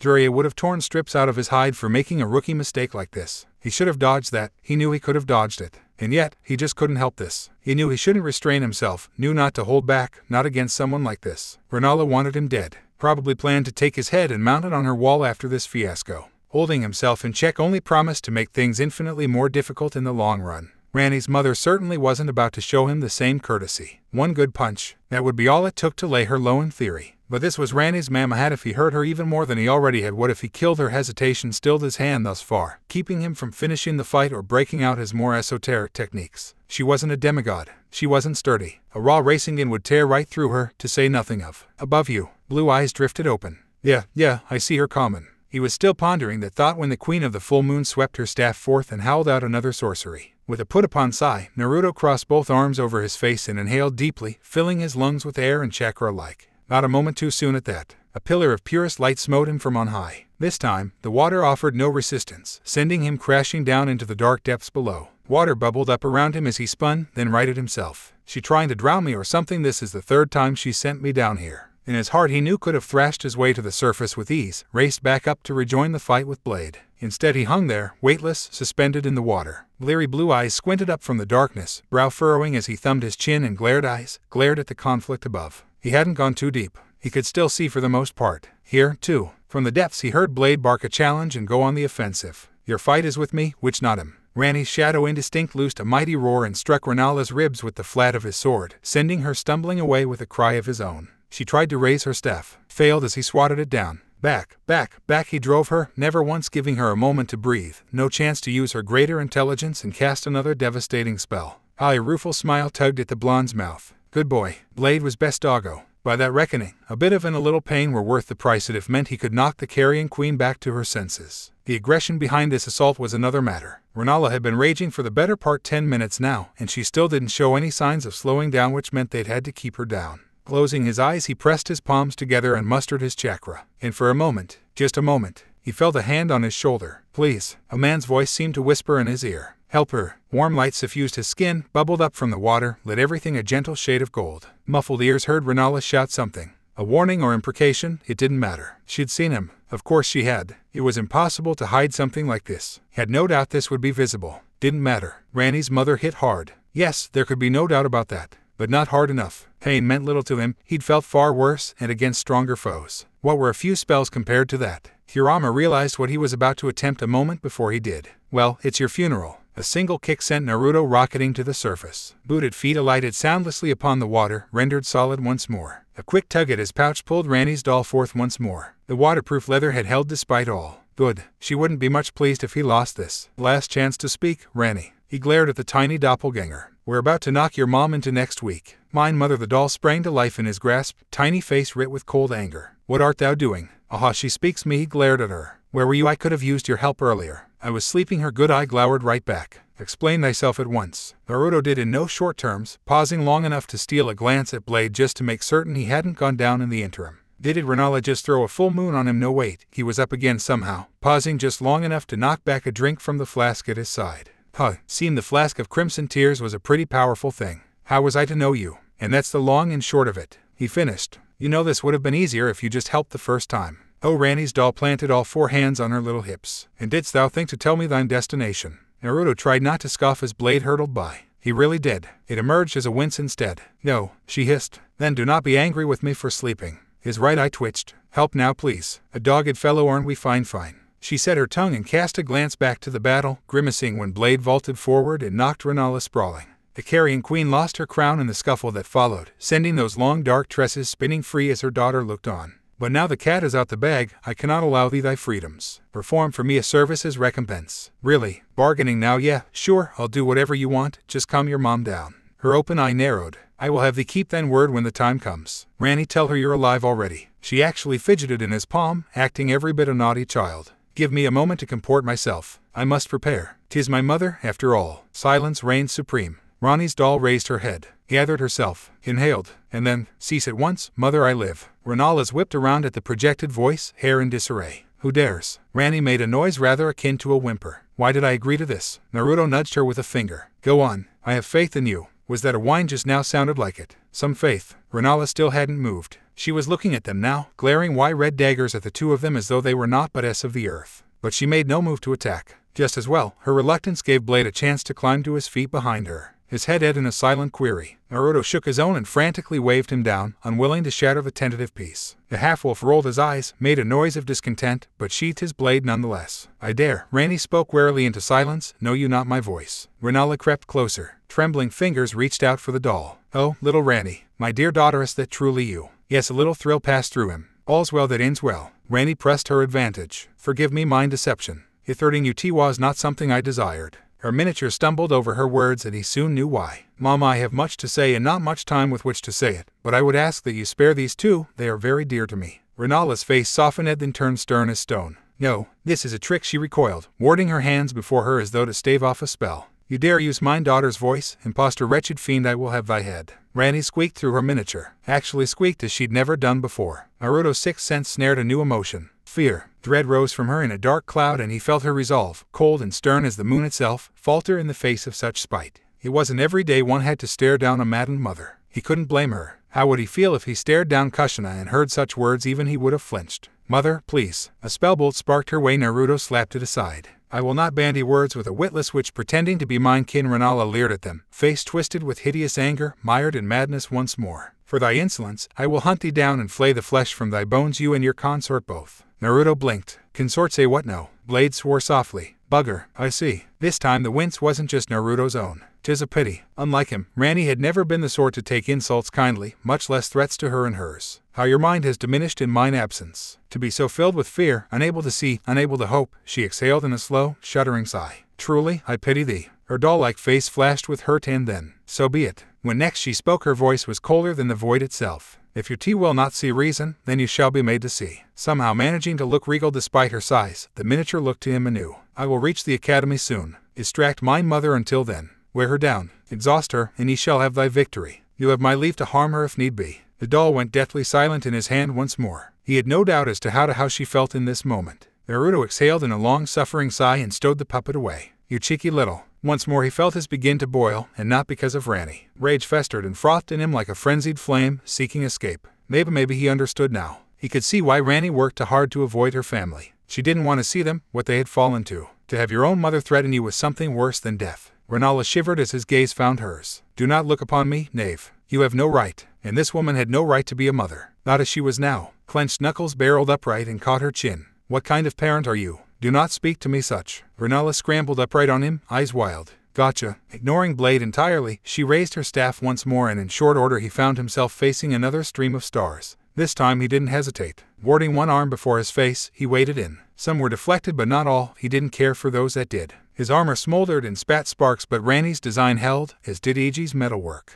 Those spells left his nice and warm, little more. Storming through her spell, he reached up, grabbed a handful of her robes, and hauled her down. No more his forehead smashed against hers, teeth bared. No more mad mothers, no more broken brothers, no more forsaken fathers. I won't have it. Do you hear me? Not one more. If this world's broken, I'll help her fix it. Starting now, I'll knock some sense into you. His fist kissed her face once, twice, thrice now. On fourth blow, her robes tore, ripping her from her grasp to send her sprawling. A wise woman would have crawled away. Rennala didn't, not a jot. She snatched up her staff and flung herself at him like some mad beast. Another roundhouse was her reward. Even then, she didn't hesitate. Kill you, I'll kill you. What's wrong with you? His voice rose, hoarse with rage as he thrust her away. She's your daughter, how can you treat her like that? Lies. Some might say it wasn't her fault. Rennala was mad, retreated so far inside herself that she'd lost all semblance of sanity. She'd simply stopped caring about the outside world, until he made her care. Now she threw her all at him. Torrents of light she conjured, gleaming stars all. Time and again her staff cut a circle before her and gave him a face full of magic, magic he ignored, burns and all. Summons swarmed forth, knights, wolves, and even a giant. It didn't save her. He went left. Blaidd went right. Rennala tried to counter their flanking maneuver. Truly, she did. She just wasn't quick enough. Even as she raised her scepter high, Naruto caught her wrist to yank it back down. Blaidd got a hold of her left arm and that was that. Together they wrestled both limbs behind her back and bound them. She fought them like a hellcat, spitting curses and imprecations all the while. Without her magic she was no true threat. It didn't make her vitriol any less potent. He felt the moment heart cracked. Ithestes not fair. She wept. Ranni reached at the academy not an hour later. Naruto knew it by the harsh crackle of ice in the distance, the sudden chill in the air, cries of combat echoing along the sullen snarl of sorceries as a certain sorceress mowed down all in her path. He winced despite himself and said a silent prayer for her once in his life. He didn't have the heart to go out there and prevent the slaughter. Not after the hell he'd just gone through. He'd already fought one carrion queen today, he'd no desire to fight another. At the end of the day, Ranni had her mother's temper. Colder to rouse perhaps, but no less dangerous. Ranni would explode into a sputtering denial if you pushed her hard enough, sure, but she was more likely to sulk and scheme, to nurse a grudge against those she felt had wronged. That she wasn't doing so now and had chosen to actively involve herself in combat. Death would be a mercy compared to the sounds he was hearing out there. One did not mess with an angry demigod, weakened or otherwise. At least Blaidd's got that crazy woman under lock and key. That crazy woman is Ranni's mother. He chided Kurama for the slip, and she's not happy with her. Be nice. The doors had been left well open before they'd raged with Rennala, as such Naruto heard Ranni long before he saw her. He didn't raise his head, didn't look at her. Even when her petite shadow fell over him, he continued to fiddle with his armor. It had held well, but there was a dent in it he wanted to buff out and something he wanted to hide. Kurama's laughter didn't much help in the matter. There was something in her tone that set alarms wailing in his head. Was she already calling in that favor how unlike her? A faint scent filled his nose, faint reminding him of flowers and moonlight. He could feel her open eye gazing upon him, half-lidded, and for a fleeting moment he thought he felt heat creep up his back. He should have known better. Are you well? Are you well? Naruto most assuredly was not. Ranni knew it at a glance, saw it by the way his back stiffened, beheld the slight twitch that shot through his shoulders. Something was bothering him. Perhaps it was his thoughts. Perhaps it was pain. Perhaps it was the melancholy of what he'd been forced to do. Who could say regardless, she liked it not. Yup, sure enough, he tried to yank his gambeson back on a bit too fast. She saw his fingers spasm, noticed that he consciously kept his back to her as he sought to don his armor. Just cleaning up, you know nothing to see here. Ranni's brow furrowed, good eye narrowing. Turn around, if you would. Her dear friend went still, but her gaze gave him not the chance to escape. Not this time. Ranni, I'm fine. She began to tap her foot. With a put upon sigh, Naruto turned in his seat and stood to face her in his entirety. Ranni immediately wished she hadn't for in turning to present himself, he revealed his injuries. Her brow shot up into her hair and her hands moved to cover her mouth as she glimpsed the state of his. Really, he actually had the gall to grin at her, it looks worse than it is. Most of his upper torso was an angry red, smarting and stinging, as though he'd sat too long in the sun. She knew the source, of course. Rennala had done this to him. No one else could hope to mark him such. Her own mother, driven to madness and lunacy, marked him. Whatever his words, those wounds would surely leave scars in their wake. She knew the like. A host of complicated emotions danced in her heart, stomping out rational thought. He would eventually recover, of course he would, yet magic had left its mark on him all the same. Her own mother, whom she would have to meet, no, no, not important right now. Those wounds her hands pushed against his, trying to force him down. Sit at once. I'm fine. He tried to laugh it off to no avail. You should see the other guy. He realized what he'd said, then. Burke, I mean, her eye was cold as ice. Sit down. Naruto sat. Good. Now be still. Ranni then sat herself in his lap. Her guard went still as stone, arms hanging just above her waist, as though uncertain where to put them. Ranni preened a little at that. Was he uncomfortable tough? Did he have any idea how he'd worried her unlikely? It didn't change anything. She'd rushed over here at not great cost to herself. This doll's body was not meant for combat, and yet she'd pushed it through such rigors in her race to reach him. Expending such energy would force her to take a long nap soon thereafter, a necessary sacrifice to make certain he remained safe. Doubtless, Iji and Blaidd would chide her for it later. But did Naruto notice? No. Did he care? Nay, did he consider her feelings in the matter? Never. She'd had just about enough of him setting the pace, of herring off without considering the feelings of those around him. There had been a moment as she rushed here, an awful moment in which she feared he might fall. Naruto was no slouch in combat, but Mother was so very powerful and she knew she just knew he'd restrain himself for her sake. And he had. That he'd been wounded at all said as much. If he'd exerted himself fully from the beginning, surely he wouldn't be wounded. Ranni, why are you looking at me like that? She ignored his words. What would she have done had he fallen? The thought chilled her. She which would miss him, the silly affable boy. No, perhaps that wasn't right. She would mourn his passing. His loss would hurt her. To watch him go into that good night with nary a word or even a good beano. She never wanted to experience that feeling again.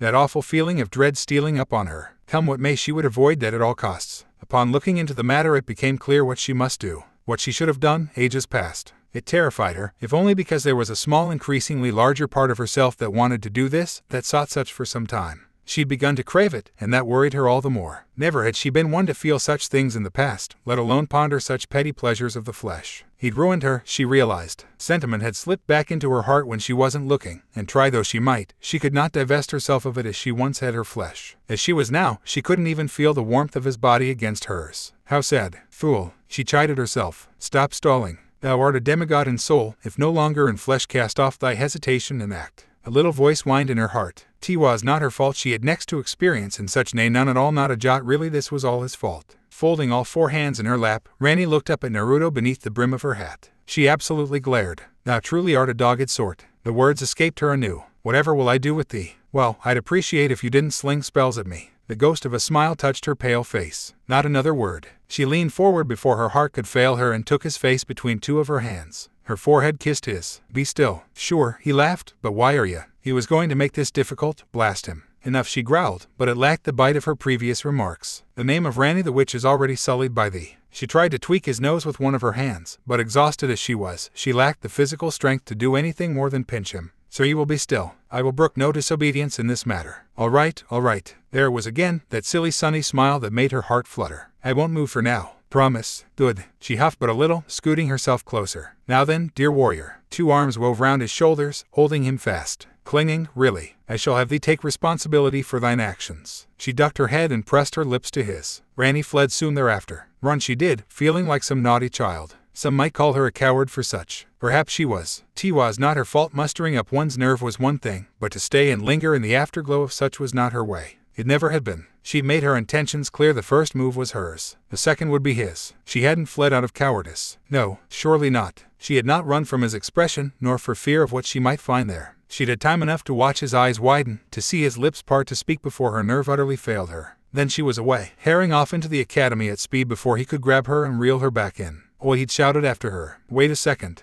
But she had not waited. She couldn't. She absolutely did not dare. Naruto could have caught her. If he truly wished to hunt her down, nothing would stop him. Ranni knew that. But shock or perhaps indecision had slowed him and so she'd made her escape. This was for the best, she told herself. If that blonde braggart wanted to find her later, then so be it. But for now she had a task to attend and other bonds to mend. She wasn't trying to distract her frazzled mind from that startled mien. Anyone fool who claimed otherwise would receive a cold spell to the face and a tongue lashing besides. Her feet carried her aimlessly at first, setting her to wander for a short time, blessed though it was. A pale hand traced the length of a pitted wall, lips pursing into a frown as she beheld the scars and stains there. Her nose curled in disgust. There had been violence here, too. Though much removed from the, the senseless violence of the shattering, Raya Lucaria had its own woes. Violence that you caused. A nasty little voice hissed in the back of her head. Could you not have found another way? Pity stirred inside her at the reminder. Pity, and regret. She held fond if distant memories of the academy, faded though its glory was. Mother had brought her as a child to master her sorceries alongside Rykard and Radahn.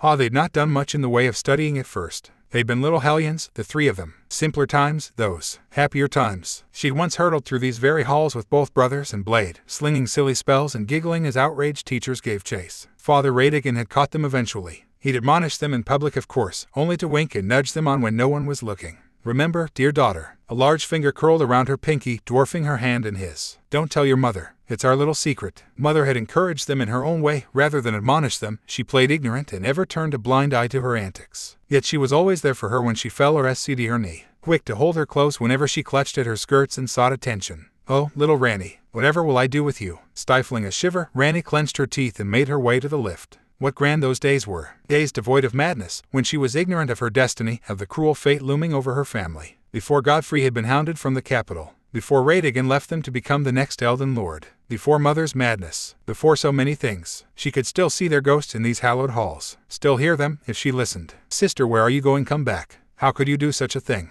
Don't leave us. I hate you, traitor. She steeled herself against them and kept moving, kept walking, ascending into the highest heights of the place she'd once called her second home. None dared to bar her path as she made the climb and took the lift to its highest reaches. Perhaps they sensed her mounting fury, perhaps they recognized their princess. Who could say she cared not a jot for their thoughts? Glintstone sorcerers and broken soldiers, fools all. Um, perhaps not all fools. One, a knight bolder than the rest, stepped out the shadows to bar her path. Ranni quirked a brow, noting his curiously dented helm, but paid him little heed. Stand aside at once. I would speak with mine mother. The man stiffened, Lady Ranni. Pa the cat was already out the bag thanks to Naruto. No point in hiding it. Indeed, she tilted her head, regarding him with her good eye. Tis I now, will you move, or shall I move you? Much to her surprise, the man sputtered, knelt, and removed his helm. A thousand pardons, my lady, I did not recognize you in that form. That voice hold a moment. She knew this one, though the memory was faint and furring, like fleeting moonlight. Silver hair, an eye patch over his right eye, a grizzled face worn by many battles. Moongrum,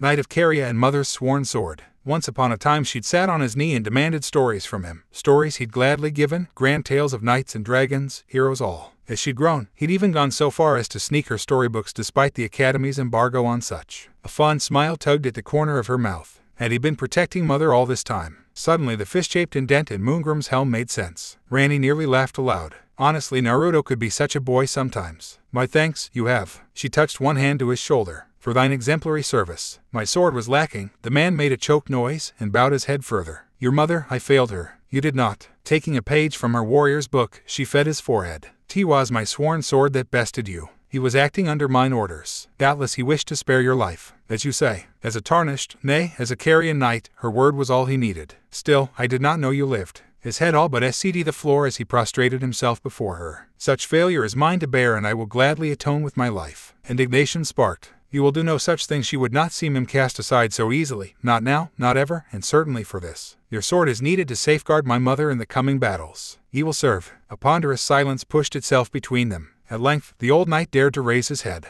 If you will still have this old veteran, I shall. Ranni paused to grant him a nod, little more. Then she walked past. Soon, the doors yawned wide for her once more. She eyed them warily, knowing full well who awaited her within. At first she had through to bring Rennala back with them, but no. She did not trust Seluvis. Better for mother to stay here than fall to his depredations. Sure enough, she spied her within at the hallway's end, cradling that amber egg to her bosom. She didn't dare approach. Not yet. Even devoid of her crown and thusly bound, Rennala of the full moon was a dangerous woman. Naruto and Blaidd had gone through great effort to restrain rather than harm her, but for a wild moment Ranni almost wished they'd simply slain her outright. To live as a shadow of oneself, there could be no greater shame, says the girl possessing a doll. A cursed guilt out out of her head, Ranni grabbed the voice with all four hands and sought to strangle it, only for it to slip through her fingers and burrow deep into her heart. She stomped a foot, then winced when her leg cracked. She wanted to scream. It was this place. Tiwa stirring up memories, feelings best forgotten. Rennala raised her head suddenly, swiftly, too swiftly. Across the distance, their eyes met. I see you. Ranni reared back and hid with a curse, heart hitching in her. Laughter greeted her. Come, child. The madwoman crooned. I shan't bite. It sounded so much like the woman Rennala once was. Ranni almost wanted to Hapino no hope hope only led to fear. Fear, which in turn boiled into anger. Anger became hate. Hate, suffering. And suffering led to the same blind, why madness, which afflicted her mother. She would not falter. She would not. Ranni peeked through the gap, feeling every bit a little girl again. Mama. She chastised herself for the slip immediately, but it was too late to take the words back. Closer, now. Rennala crooked a pale hand toward her, a hint of longing lurking in her words. It's so dark. Let me have a proper look at you. Lest she Ranni wanted to run, to fly, flee from this place and never return. And what would that avail her? Nothing. Nay, she had to face her. This wasn't something she could flee from. Mother was mad. This was not something that could be cured so easily, not even by Naruto's hand. Perhaps if he were stronger he might be able to heal her mind as he had her body. But alas, he lacked such power. It fell to more conventional means to see her restored which. She needed her mother. She had to see her, had to speak to her, face to face. Even if things went wrong, even if it hurt. An open palm planted itself between her shoulders to propel her forward. Ranni stumbled, yanked down her hat to hide her face and spun, knowing full well who she'd find there. Sure enough, Naruto beamed back at her, one arm still extended. Blasted all he'd caught up and he didn't look the least bit discomfited with her and why was her heart beating so fast she didn't even have one.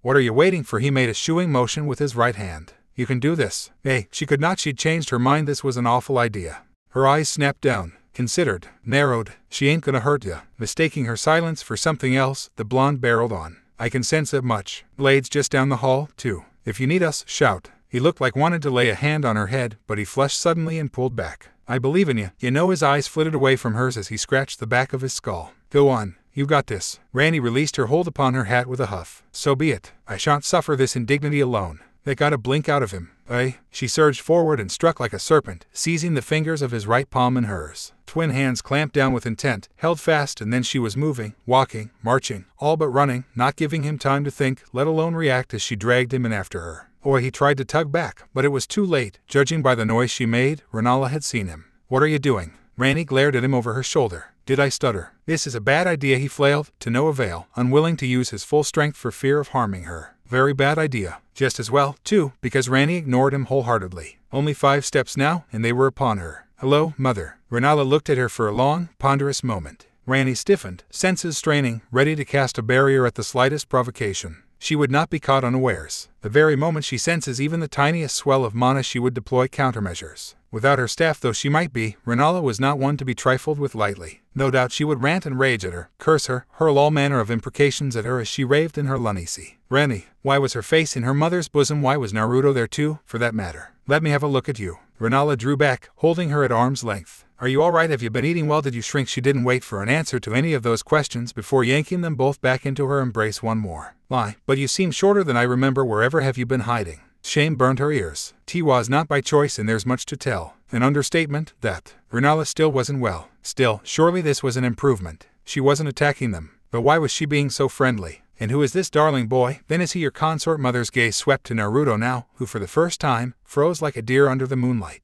He seems nice. As the boy sputtered, Ranni once more found her. Have you given thought to children with him? I'm sure they'd be. Naruto's tan face turned seven shades of startled scarlet. Kids, Ranni covered her face with all four hands. Mama, wait, she was acting as if this was her first time seeing Naruto. That didn't make sense. Yet was this not better she wasn't attacking them? Even if she wasn't entirely there, this was a far cry from the raving rage she'd visited upon them prior. Speaking of which, have you seen your brothers? Rennala touched a hand to her face, glanced about, then frowned when she found nothing. Why, but they've made themselves scarce of late. She cast her gaze about the empty library, searching in vain. Your dear father seems to be hiding as well. She shifted her legs beneath her, causing her shackles to clink softly. T would seem he lost the key to these. Naruto hissed out a breath. Uh, no, we put those on you, for your own safety. Didst thou? Rennala tilted her head. But this is the first time we've met. Ranni froze. Understanding dawned, and with it, Ranni's world went darker than the cold moon she'd learned to fear. It all made a twisted sort of sense now. This was worse than she'd thought. Far worse, to have forgotten such things outright, nay, to deny them with such a simple smile on her face only one thing could have caused such. One could not call it selective amnesia at that, for her emotions burned true. And yet, she'd simply forgotten much of what had transpired her. To even think of such, horror curdled within her, souring her every thought like rotten milk. Had she willingly used Radagon's golden egg upon herself, to try and strip away her trauma, only to break herself even more the grim art of reincarnation was seldom perfect, even for mother. To even attempt the right alone was a process fraught with peril. She'd seen the sweetings her mother so favored, broken girls all, able to do little more than crawl and babble nursery rhymes. To her own eyes, mother, unclouded now, Rennala looked at younger. Not by much, but noticeable enough to catch the eye. Didst thou rebirth thyself? Nay, Rennala's response was just a touch too quick. Whatever do you mean? Mother, father's egg is in your arms. She stepped forward, even as the older woman shrank back. Do you deny it? Do you mean this? She looked down, still clutching her egg. I wonder from whence it came such a curious thing. so warm. Evidently that was enough for Naruto, because he stepped forward, pulled out of Ranni's grasp and grabbed a fistful of Rennala's robes. A quick tug brought her down. His marked hand came up, alighting upon Mother's cheek. The other joined it, holding fast. His forehead touched hers. It's okay. His words were a whisper as he closed his eyes. You don't have to pretend, not for our sake. The rebirthing didn't work, did it let it out? Her smile cracked, a hairline fissure etching across her mask. I haven't a clue what you mean. Don't you? He didn't budge the stubborn sod. Aren't you happy to see Ranni again? Of course I am. You knave Rennala snapped back, think not Aya. Naruto leaned back, eyes narrow and intent. Gotcha. Ranni gingerly stepped in to take his place. I'm sorry, mother. She laid a trembling palm on her arm. For everything. All of it. Rennala's facade continued to crumble. Still she clung on for another second. Then she broke. This time, Ranni didn't try to dodge the that followed. Slim arms wrapped tight around her as her mother wailed. Little Ranni, how I miss thee. Naruto slept well. Perhaps too well, some might say, because he couldn't recall falling into bed in the first place. Meh, semantics. He was comfortable and nothing short of an earthquake was going to move him. Indeed, the moment he awoke, his body's immediate instinct was to yawn, cuddle closer to Ranni, bury his head in her hair, and go right back to sleep.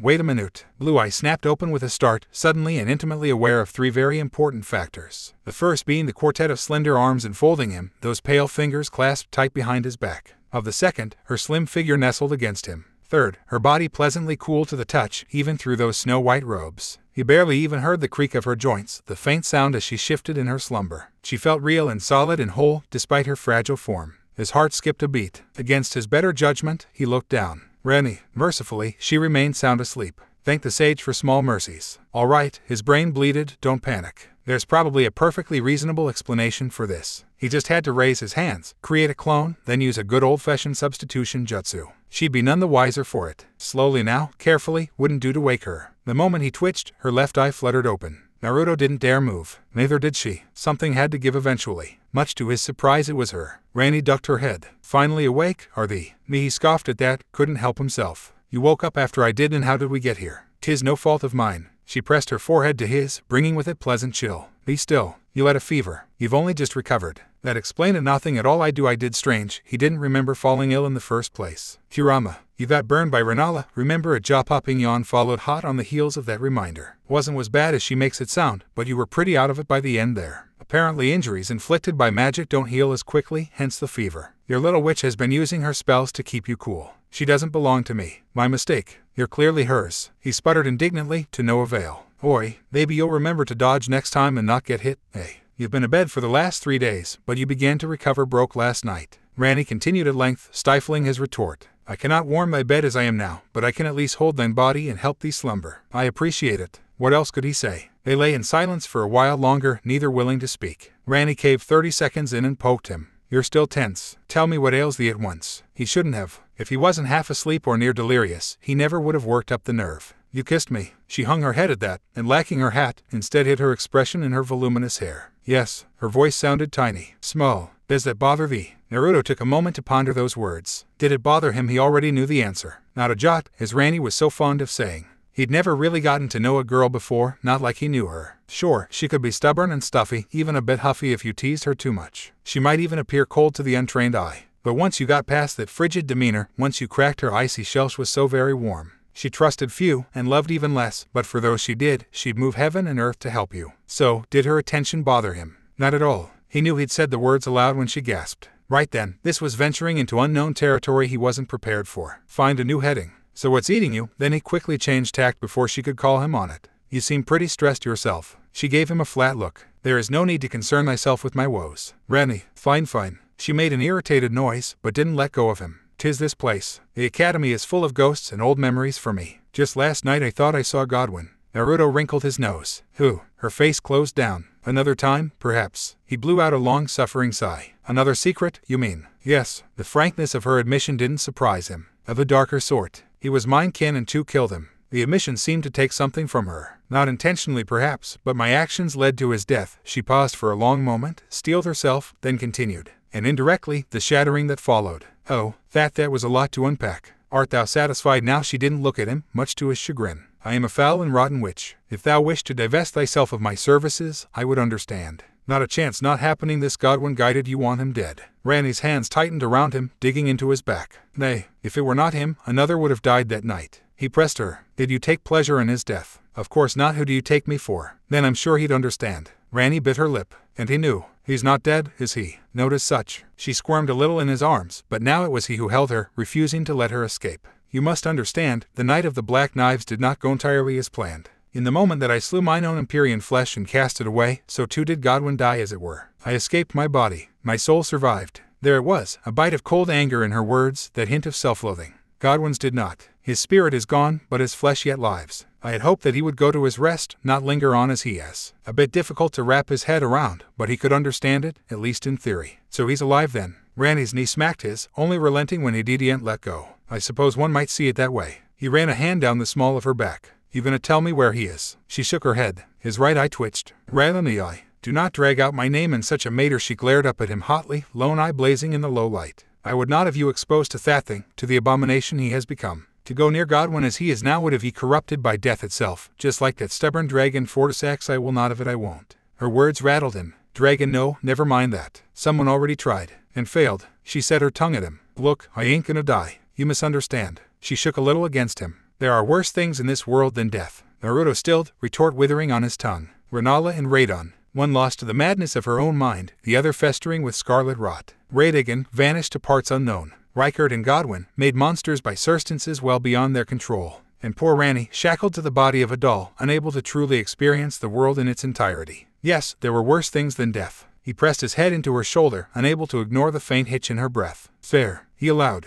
but I ain't got a clue what to do next. Even now the admission rattled him a little. Rennala was still not quite right in the head, but she was better than before. She wouldn't attack them. Who did that leave then on raid again? maybe Godwyn if he pulled out a miracle he was terrified of breaking Ranni, both her body and her heart. Some of his anxiety must have shown through because Ranni tugged at him. I would ask you to wait. Allow Blaidd and I to recover. You know I can't do that. He couldn't wait, not when he knew others were suffering. Your family's hurtin' people. You said yourself, you don't know where your old man ran off to. Maybe he's safe somewhere. That doesn't change the fact that Rykard and Radahn are hurting others. That anvil of pain grimace stole across his features as he remembered the grisly details Seluvis had given him. Eating people. Tis no fault of Radahn. Ranni ran a fractured hand across his. He was a noble warrior, once. Honorable to a fault. He would have liked you, I think, before Malenia ruined him with the rot. Wait, wait, you have a sister, too. Half-sister. She spat. A stubborn and prideful wretch who would sooner corrupt an entire continent than admit defeat. Sounds like me and my fists need to have word with her. Pa she barked a bitter laugh at his remark and curled into him. Tea would certainly be amusing.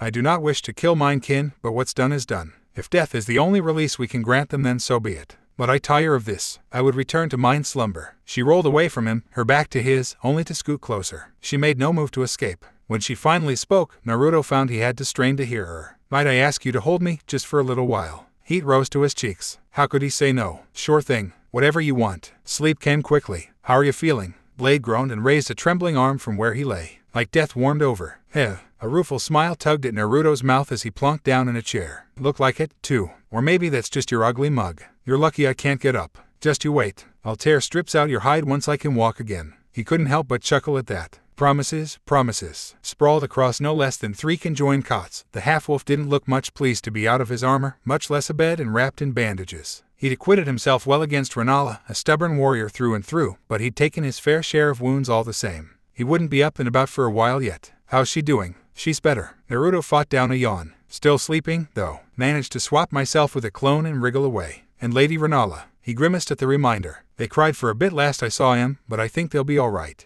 Ranni's shadow made a noise that might have been a laugh, of perhaps a gravely grunt. Hard to tell. Still, even with his wounds, his mind stood sharp as ever. You're wearing your armor. His head inclined a fraction of an inch. Notice that, did you? Ranni's tuckered out. She expended an awful lot of energy to get here quick as she did, and that's taken a toll on her. When he saw his pensive expression, he barked a laugh. Don't worry, she'll be right as rain in a few days, but you're not going to wait that long, are you? We don't have a few days, Blaidd. Naruto steepled his fingers and laid his chin atop them. You of all people know that. I, his head fell back to the pillows. I doubt Radahn will much mind as he is now. And those recusants you told me about you said you saw a scout near here. She's not around anymore. Moongrum checked. And what do you think that means? Blaidd opened his mouth to retort. Closed it. Blast. That's a big fish you're going after. I'm in no shape to fight, mate. Not for long. I know. I healed you as best I could. And I appreciate it. A hand waved loosely, unable to reach him. If not for you, I'd be laid out for months rather than of a few days. The silence was his answer. You know, I don't much like the idea of you doing this alone. Blaidd rumbled. Don't do anything foolish out there. Ranni loves you, I think. she'll cry if you die. Naruto's throat closed, strangling any crass reply he might have given in kind. Blaidd chortled. Speechless are we never thought I'd see the day. Not another word. Naruto grumbled. I'll bite you. Probably how she likes it. B-L-A-I-D-D. And where art thou going? Naruto paused mid-step, one foot through the door. Of all the people he'd expected to challenge him, he'd not expected this. Well, he pivoted, shouldering his pack. I didn't think you would leave your library. Dear boy, Rennala scoffed as she stepped out the shadows to loom over him. I am mad, not paralyzed. His gaze drifted to her right hand, nothing a rather unfamiliar weapon there. Rennala had a new staff, something forged of purest green crystal. He could feel her mana swelling, even now. No surprise there. That awful rebirth, though it had failed to strip her memories away as intended, had left her body both younger and far stronger than before. She stood before him now in her prime, just as she had stood before Radagon on that fateful day, ready to lash out at the slightest provocation. Unlike him, Naruto stand his ground. You want a rematch. He saw her consider it. And then, my daughter intends to court thee. Hey, he blinked, somewhat taken aback. That's an odd way of saying Ranni likes me. You don't seem to understand. Rennala ground her teeth, almost ready to call him a knave again, then swallowed the word. Her smile was bright, a light to burn through her madness, if only for a moment. When I say courtship, I mean mine daughter intends to have thee as her husband come the end of this. His eyes widened, and so too did hers narrow. Tis a battle not even Queen Marika herself, nor the greater will shall save thee from. Naruto's jaw set open. Biwa. Then his temper sparked. Greater will Marika what good were they? Screw them if the greater will and this queen would let the world fall apart like this, then why should I care what they think he slashed a hand back, reaching for the hound's fang on his back. Firm fingers curled around the hilt, but he didn't draw it. I say it's time to for a change. Huh. He wasn't prepared for her laughter. Rennala bent double, one hand flying to her mouth as her shoulders shook, body physically convulsing with mirth. Naruto found himself balking at her, unsure what to make of such a sordid display. This madwoman, this once former queen, giggled herself silly. She laughed until she cried, then laughed some more, shuddering until she was spent. Naruto dared to edge forward. You, ah, okay there. I am well enough. She straightened slowly, wiping a lonely tear from the corner of her eye. You truly are like mine husband and yet more than he ever was. Another giggle shook her shoulders before she managed to master herself. How he would have hated you. He would have been a heretic in his eyes. Something hardened in his heart of hearts and he found himself lifting his chin in mulish defiance once more. If I'm a heretic for trying to do right by Ranni in this world, then so be it. Are you prepared to sully thyself for her? The Queen of Caria pursed her lips in a thin line and tilted her head, dark tresses obscuring her right eye. It reminded him so much of Ranni. To why thy hands? A lifetime ago, he would have said no. Now, hindsight was a remarkable thing. He'd killed before in the past, or fought with intention to kill. If that was what it took, I'll do what I have to do,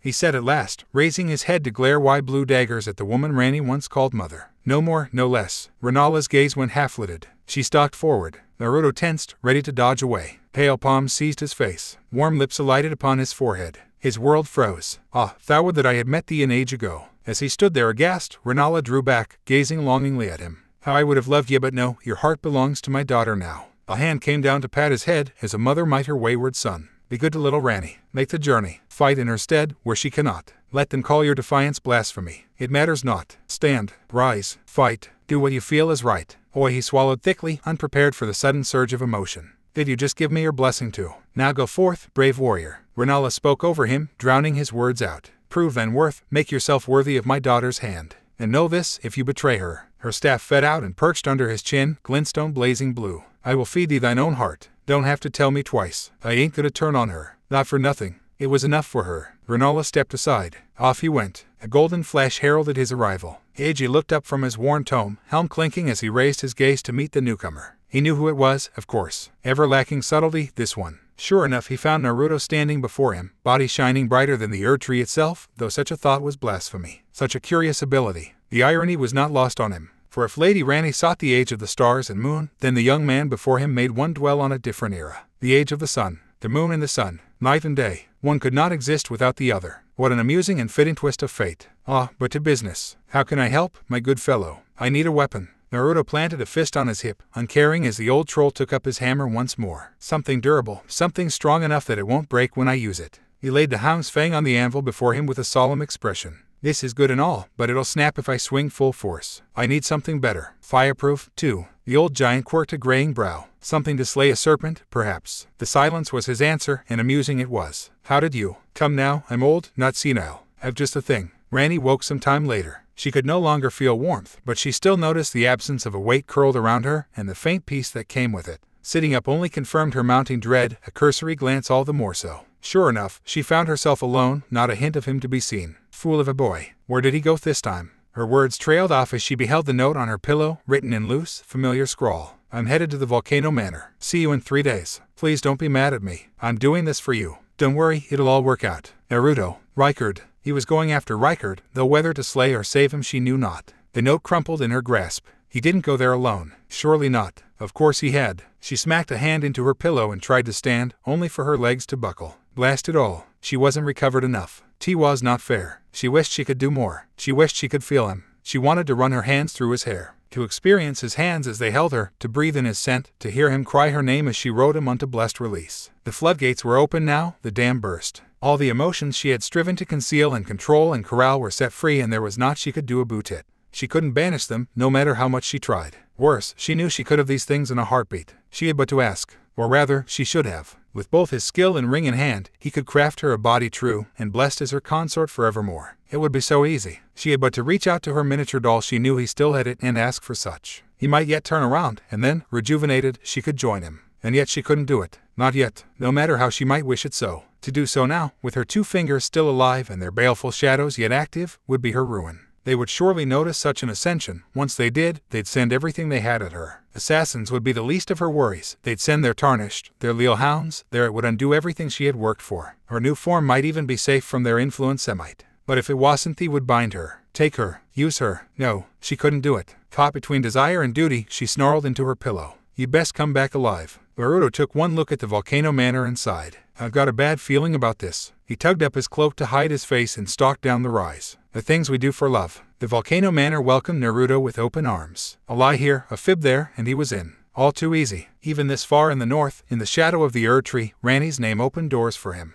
One look at the Carian crest on his armor and the tiny doll in his hand had Tanith all too happy to play hostess. Downright giddy, some might say. She'd fed him the finest food and drink, none of which were poisoned, remarkably, and provided him room for the night. She seemed determined to play her part, if nothing else. Her faithful knight decidedly less so. Even now he could feel the crucible knight watching him like a grim hawk as he sat across from her mistress, sword brandished, point first into the floor, ready to pounce at the slightest sign of danger. She would defend Tanith to the last. He could respect such loyalty, flawed though it was. Good for her. It wouldn't make of difference. Ah, but little Miss High Horse was speaking and he must attend for now. Lord Rykard has ever had great faith in his dear sister. As he looked on, Lady Tanith folded both hands in her lap, the very picture of decorum, mask reflecting nothing. He will be most pleased to learn of her survival her head tilted just so, a note of intrigue threading its way into her words. When will she be coming to the matter? Naruto fought down a tiny twitch. Never, if I have anything to say about it. Steady, now. Don't show your hand. I know, I know. If this Rykard was half the monster Ranni claimed he was, then he wouldn't be letting her anywhere near him.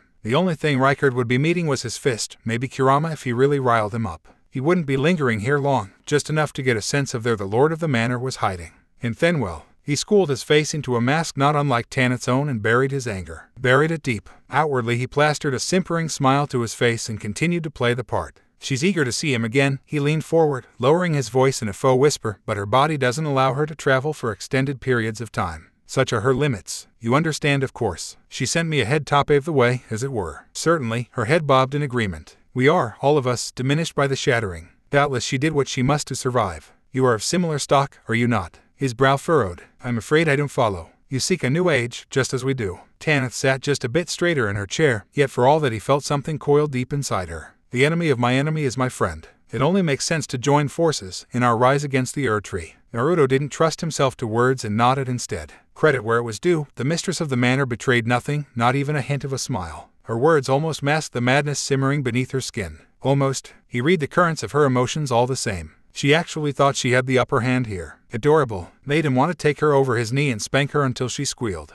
He wouldn't be a recusant. He'd sooner eat his own heart than kill innocent tarnish that were just trying to get by. Will you not have an audience with our lord? she asked suddenly. I'm sure he would be delighted to welcome you in your lady's stead. Oh, no, no, no, no. He wasn't walking into that trap until he was ready. Maybe later, once I've settled in. Fair. She allowed. I'm sure the rest of the manor is eager to meet you. His smile was all teeth. I'm sure. You're not here to join our family, are you? Nope. Such an innocent inquiry, and yet for all that, Raya didn't even flinch when he gave her his answer. She continued to follow him, lingering after him like a lost puppy. Naruto almost laughed at it all. Were it not for his own ironclad self-control, he might well have. Instead, he kept his eyes fixed firmly ahead as he weaved his way through the darkened hall. To look back now would expose him to more of those ghastly snails and their poison. They couldn't harm him, but he'd gotten plenty of their gunk on his armor already thanks to the cramped corridors. Ranni would have his hide if he came back to her smelling like a grave. He could imagine it now. What is that wretched scent to the baths with you do not enter mine chambers until thou art clean? The ghost of a smile touched his lips. It gave him the strength to persevere, even in the face of this latest challenge. Then why are you here? Right, adorable little snake girl. Almost forgot about her. He wasn't fooled by her disguise. If she wanted to walk about as a human, that was fine with him. Far be it from him to question a simple soul like her. For all intensive purposes, Raya Waspier, more than the other residents of the manor, at least. She had her own reasons for being here, but he sensed doubts in her, belief that her family was doing good clashing against some uglier, darker secret. Yet for all that, she didn't have a hint of madness or mischief about her. She didn't cower before him like that Diallos fellow, and she certainly didn't simper as Patches did. Likewise, her gentle curiosity and tentative questions were a far cry from the gruff stoicism offered by Bernahl, whom he'd resolved to deal with at the first opportunity. That one was struck him as vengeful. Best put him down fast and hard when the time came. On your left, a hound knight lunged at them out the dark, claws bared as it brayed a challenge. Raya yelped and ducked behind him. Naruto caught the mad dog by the skull, spun, and without missing a beat, levered it into a wall spattered the stones. A body hit the floor. Runes flooded into him. He kept walking, feigning indifference as she scampered after him. He'd expected if the casual display of violence to spook her, but she kept pace with him regardless. Let's just say I'm gainfully employed at the moment. He risked a quick glance back at her. Is there a reason you followed me? Her eyes flashed bright in the dark, giving him a hint of her true form.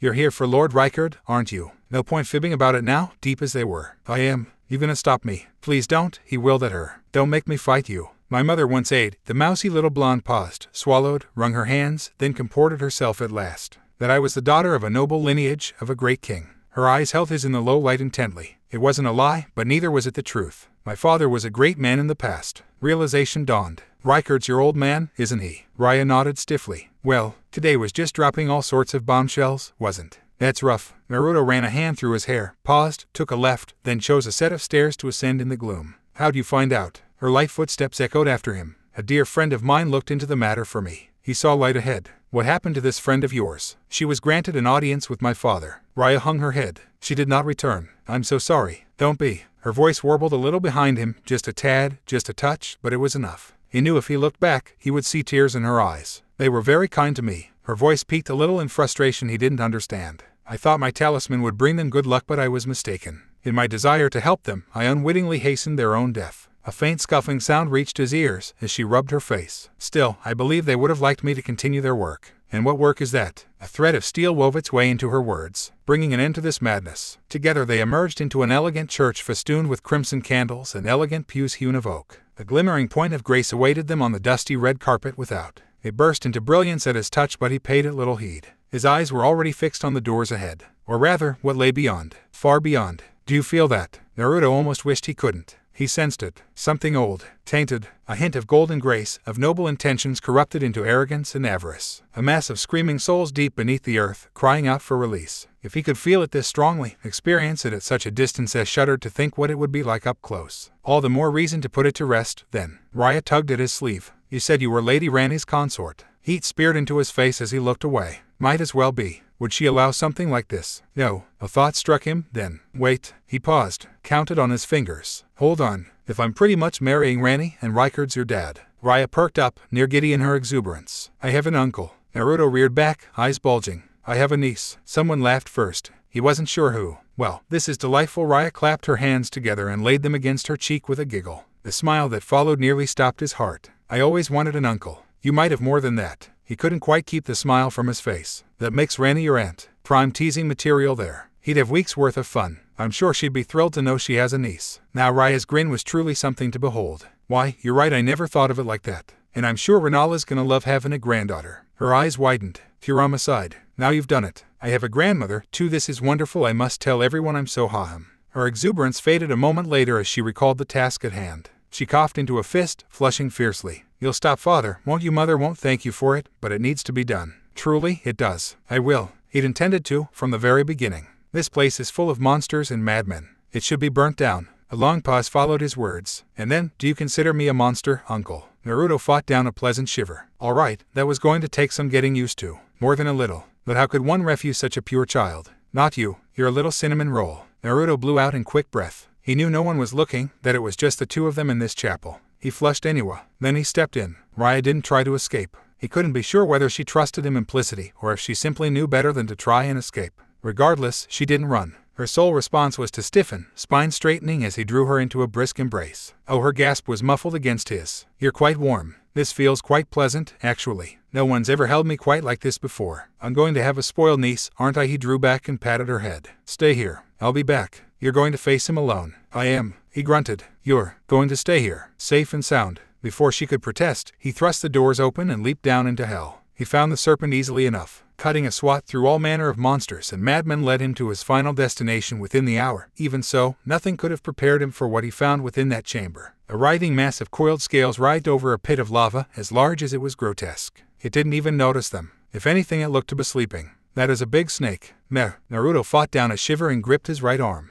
I've seen bigger. His partner picked up on his unease quickly. You all right? He shuddered. Just bad memories. He'd been eaten by a serpent once before. Not something he was keen on reliving and he wouldn't if he had anything to say about it. Back then he scarcely had a scrap of power to his name, he'd escaped certain death by only the narrowest of margins. A strange rocky outcropping caught his eyes. No, not a statue at all. It was the remains of a man holding a spear. He hefted it and felt the power within. Well, hello there. Something crunched underfoot. Naruto looked down, saw the skulls etched into the hardened floor, felt the bones under his boots. Something deep inside him recoiled. He'd expected to find the dead here, but never in such an abundance. Kurama cursed and he joined him a moment later as the revelation hit. This wasn't a chamber at all. This was a tomb. These were people. Countless souls had been slain here, dying by the hundreds. Mounds of them, wailing souls, clutching at one another in their last moments, flesh long since hardened into stone. It didn't end there, either. Much to his horror, realized that the hardened pillars around him weren't pillars at all, but the calcified remains of those who'd tried to climb away from this thing in their final moments. By comparison, the gaudy chandeliers strung high only made the scene even more eerie. His gorge rose anew. How many lives had been lost here? How many had gone unknowingly to their deaths? Not just Raya's companion, but all these tarnished ten devoured.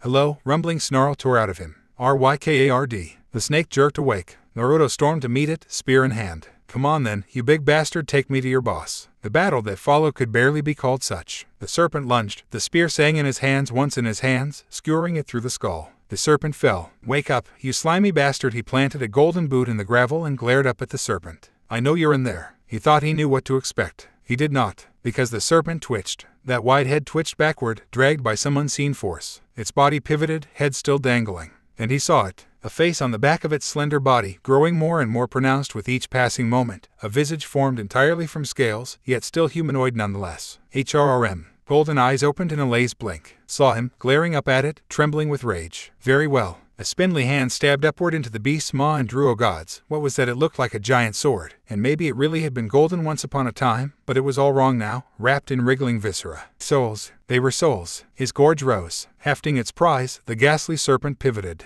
You the abomination whirled to face him with a breathless rasp of a voice voice, like a man who'd spent too long underwater. Join the Serpent King as family, and so the abomination spoke, his low, rasping voice filling the chamber. Tojta, we shall devour very gods. How's about you fool look right off he drawled back. It's Rykard I want to talk to. The real Rykard, not whatever you are. The heretical creature recoiled, still drawling its syllables. You would dare defy the SSSSS Serpent King. Sure would. The spear clanked down against the volcanic floor. Now die. The serpent hunter sprang to life, stronger than ever before. To his credit, Rykard blocked the first blow. Even the second, by the merest of margins. Not so the third. It smote him upside the crown of his face, tearing a great gash across his nose and taking several teeth besides. He fell like a toppled tree, stunned, and crashed to the volcanic floor. Not dead, merely dazed. It was enough. That bought us, what, maybe nine seconds make it count. Naruto dipped a hand into his pouch. Hey, ah, Ranni. The tiny doll stirred in his hands. He felt the weight of her attention, but she said not a word. I found your brother. He spared a glance back at the abomination, just now beginning to rise. Gonna try to save him.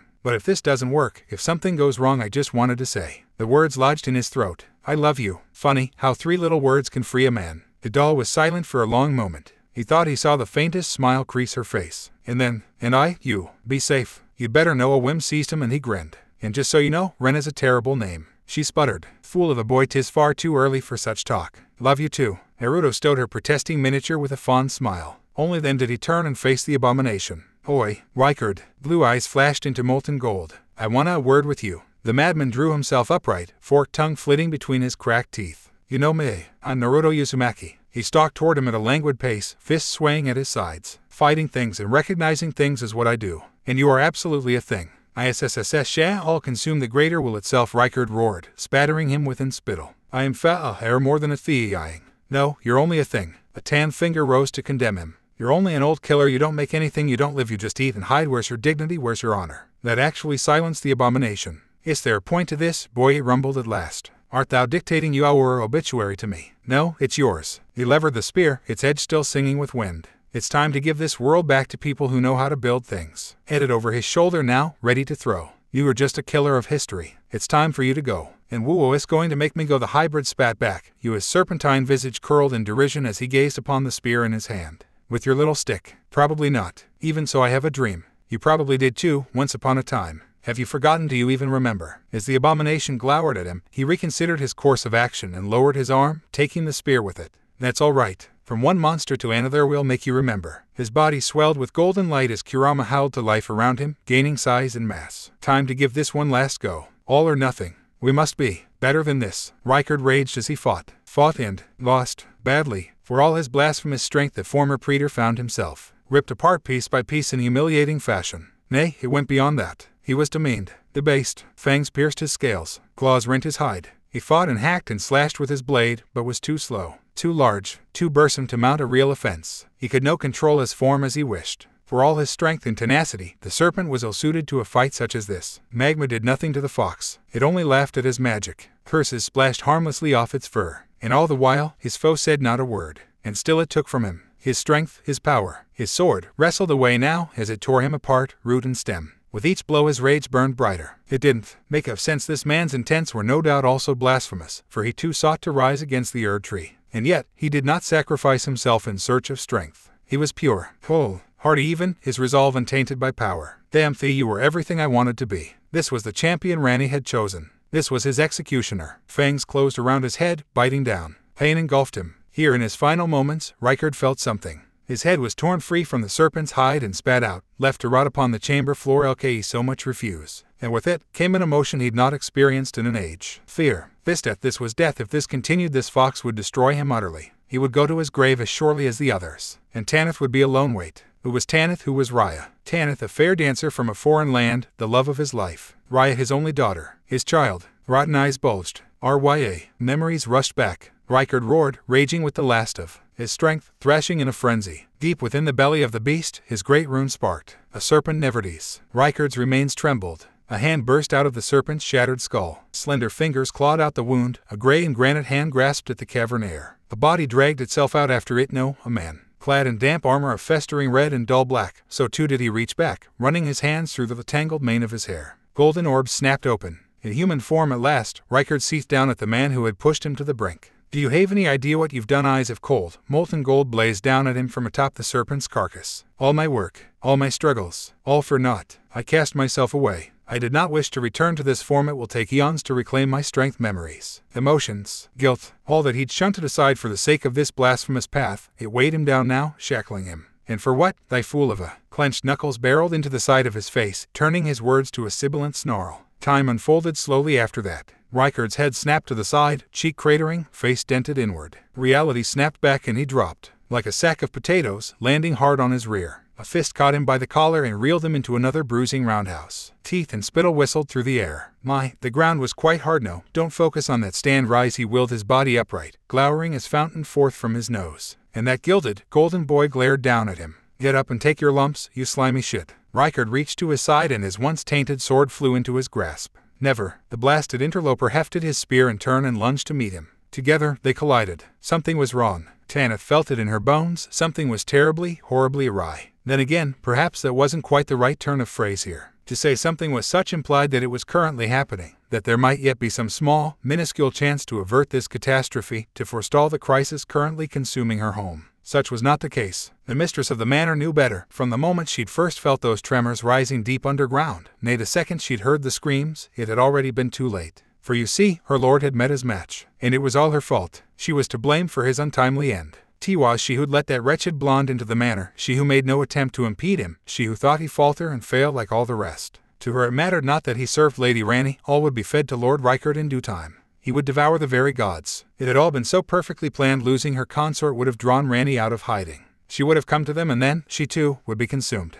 Now the walls were crumbling, the earth shaking, the sky gone dark, and still no sign of her lord. Raya was nowhere to be found. Diallos had scampered off the worthless wastrel to parts unknown, and by the look of him, Patches was strongly considering the same. Only Bernahl and her loyal Crucible Knight remained steadfast in this, but if the tremors continued unabated, even their will would be tested. Honestly, she had half a mind to go down there and see what the devil was going on. A sudden clamor in the hall drew her attention. What in the world she heard Bernahl's voice boomed, just out of sight. Stay back, I'm warning you. Another clamor went up, the harsh ring of someone striking steel, and he fell silent. She heard it then, coming from just around the corner. The faint tap tap tap of approaching footsteps, sound of something or someone being dragged behind them. Was it Bernahl's body? Perhaps had the traitor slain them as he'd slain their lord, was he to parade his corpse before them? Tanith's knight tensed at her side. With a wordless hiss, she readied her blade, doubtlessly intending to lunge around the bend and strike. Peace, my friend. She laid a hand on the woman's arm. Wait for my signal. Just as well, too, because in the next moment he emerged. She saw him suddenly, this Naruto fellow. He came stomping down the hall, covered and still steaming.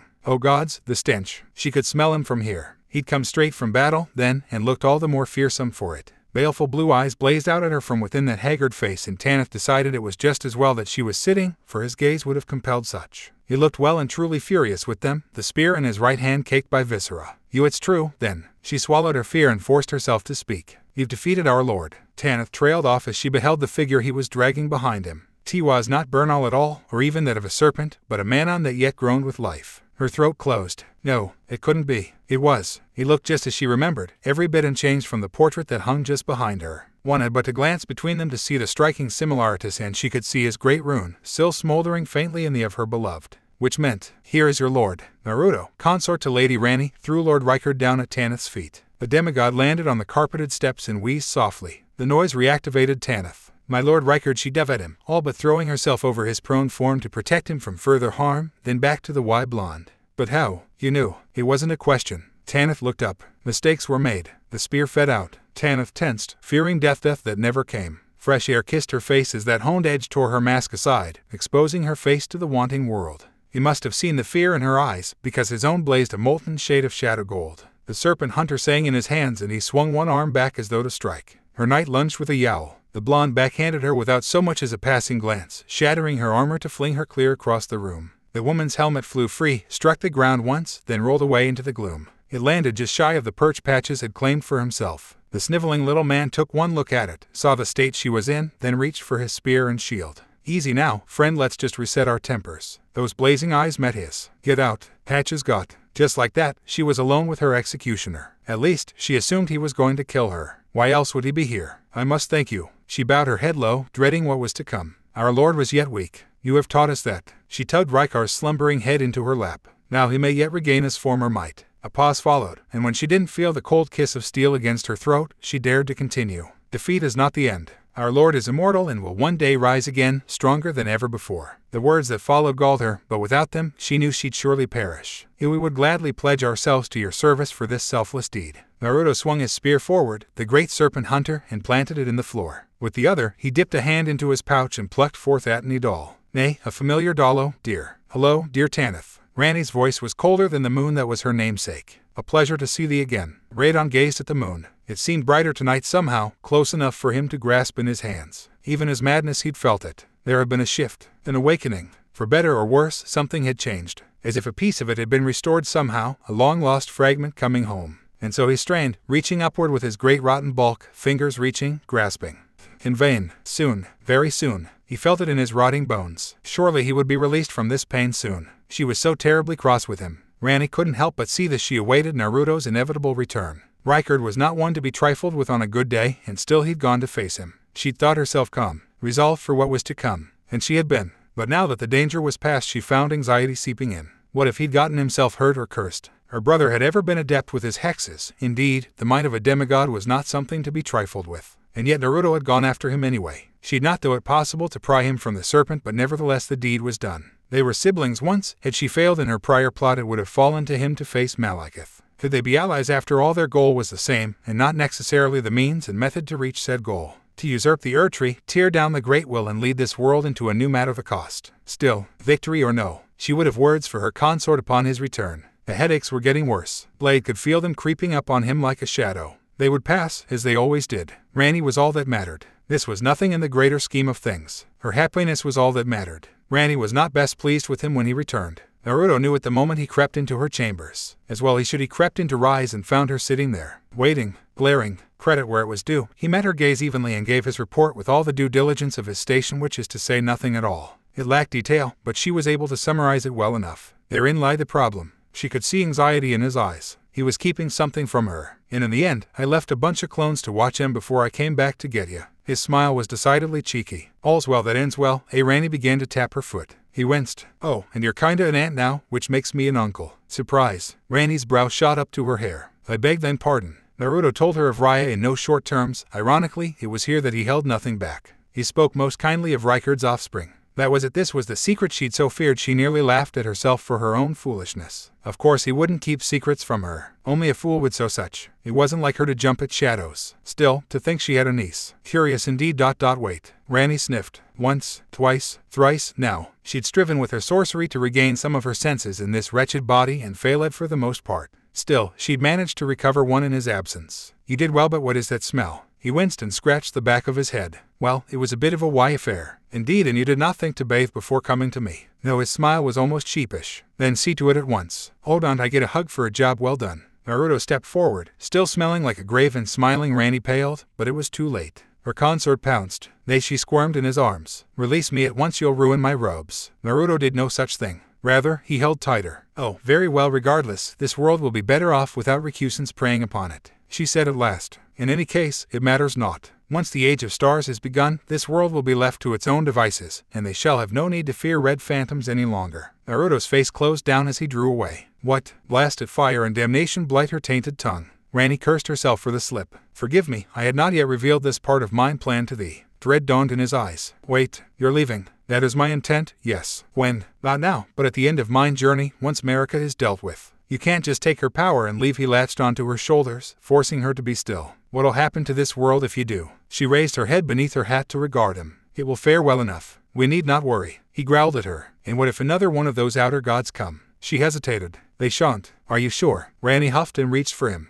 Thou doth protest too much. No, he batted her hand away with a hiss. You protest too little. Think if you just take that power and leave everyone in the world to fall apart like this for your own selfish gains, you'll be no better than Kaguya. His words sent a lance of bitter ice through Ranni's heart. She knew that name well. How could she not? Naruto had spoken long and at length of his past to her, both of his deeds and the enemies he'd faced. The rabbit goddess was by far the worst of the lot. For him to compare her to that which had stung her more than any blow ever could. With it came anger, hot and heady, full of fury. It burned in the pit of her soul, fiercer than the frenzied flame itself. Oh, how it burned! Do not compare me to that parasite. His eyes widened, just a little. She bit her tongue. Ranni vacillated for a moment, swallowed once, choked down the smoldering ashes of her ire, and fixed him with a stern look. Naruto glared right back. He was prepared to fight her on this, she realized. Even now his body burned from within, wisps of golden light stemmed from his shoulders, ready to be unleashed into dazzling, blinding brilliance at the slightest provocation. If it came to a fight, she would lose. Nay, more than that, she did not wish to fight him in the first place. Did his words have some merit? Perhaps she didn't want to dwell on them, but linger they did.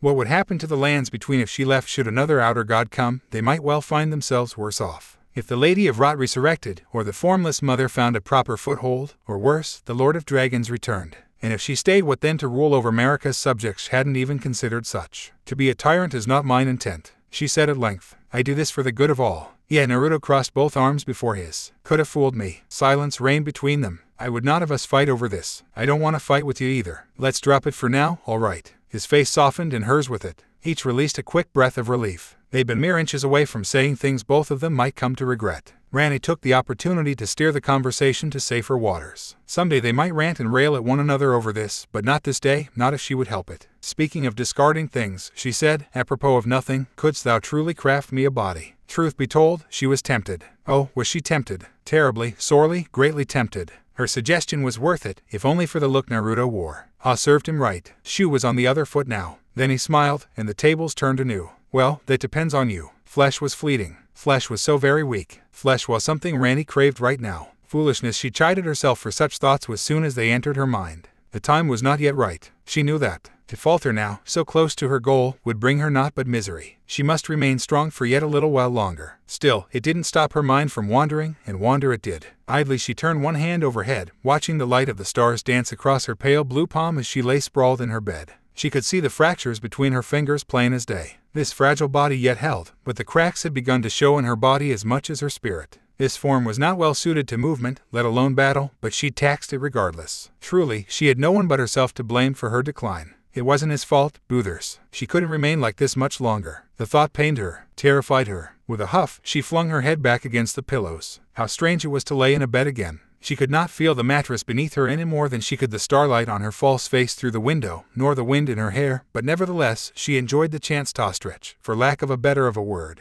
Better than sitting atop her chair and the great stack of books atop it. Lazing about like this gave her the chance to think and consider her options. For an age she had been content with this puppet body. Not happy, not necessarily satisfied, but content. It served her purposes well enough, kept her focused on more important matters. Devoid of the distractions that came with flesh, she had been able to plot against the two fingers with single minded fervor. And then he'd come crashing into her life. Naruto, that sweet, silly boy who just couldn't let her be. He'd ruined her, tugged her out of her shell until she could no longer fathom the idea of returning to her former self. It was just like something out of one of her old childhood storybooks. The hero slays the dragon, meets the princess in her tower, and sallies forth on a quest to win her heart. His trials and tribulations are many. He finds himself tested at every turn. But eventually he succeeds and returns to her. She welcomes him home. He sweeps her onto the back of his noble steed, and together they ride off into the sunset. Huzzah, huzzah, huzzah, and all that. Ah, said she, she was no mere maiden to be carried off, and there was still much to do. Ranni grappled with the idea a moment longer before shoving it away. She had never been the sort to cry when frustrated.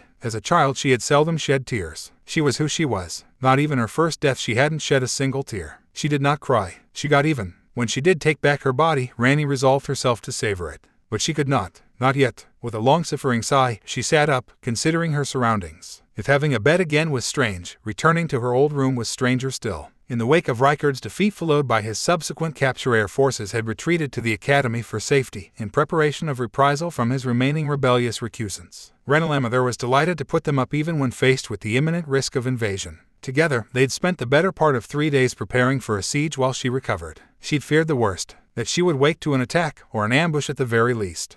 It never came. Ranni could guess why. In hindsight, it seemed painfully obvious. Naruto and Rykard must have sought out the stragglers themselves while she was resting. Doubtless they'd converted those they could and eradicated the rest. Tanith likely knew their hideaways. Whatever the case, they'd had three days of peace, of silence, of rest. She grabbed a pillow and hurled it against the wall. All this rest was driving her mad. If even she had begun to get antsy, then Naruto must be losing his mind. The thought drew a grim smile to her face. Even now her consort was ever eager to rush off to the next adventure, to save everyone and everyone he could. Rarely did he consider his own well-being.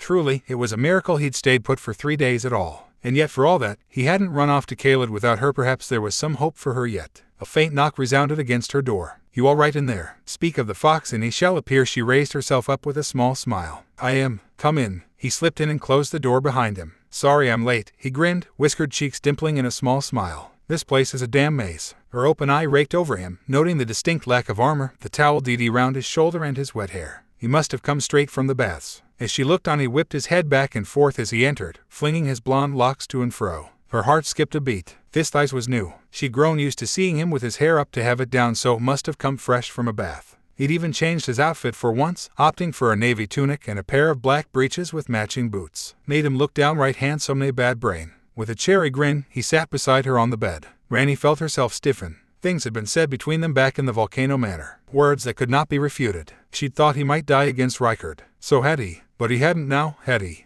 She couldn't find the words. For once, her tongue remained tied. Mercifully, he saved her from making a fool of herself. I want to go after Radahn. She blew out a sigh. Aha, there he went again. We shall seek Radahn later. Naruto pursed his lips. He's a danger to people. She scoffed. Only those fools who traipse out into Caelid. Must you insist on this? Sure enough, he lifted his chin a little, and it was then that she knew, one way or another, he was going to be stubborn. She reached out and touched a hand to his face. I do wish you'd rest a bit longer. I did rest. He squinted at her, not quite comprehending her intent. Him fine. Was he was he really he'd healed rather nicely, but Rykard's hexes were not so easily ignored. He'd bear scars on his arms from the rest of his days. Oddly enough, she didn't mind them. The marks gave him character. Each battle had marked him in its own way. For so long now they'd bounced from one conflict to the next. First that mess with Darriwil, then Mother, followed by Rykard, and now he wanted to rouse Radahn. Would it ever end? Would they ever run out of enemies to fight? She stared at him overlong and for once, he surprised her. Well, I guess there isn't that much of a hurry for the time being. Naruto reached up to cup her hand with his. We can deal with Godwyn and Malenia, then Radagon, once we find them, but we at least know where Radahn is. When you leave, she hopped down off her bed.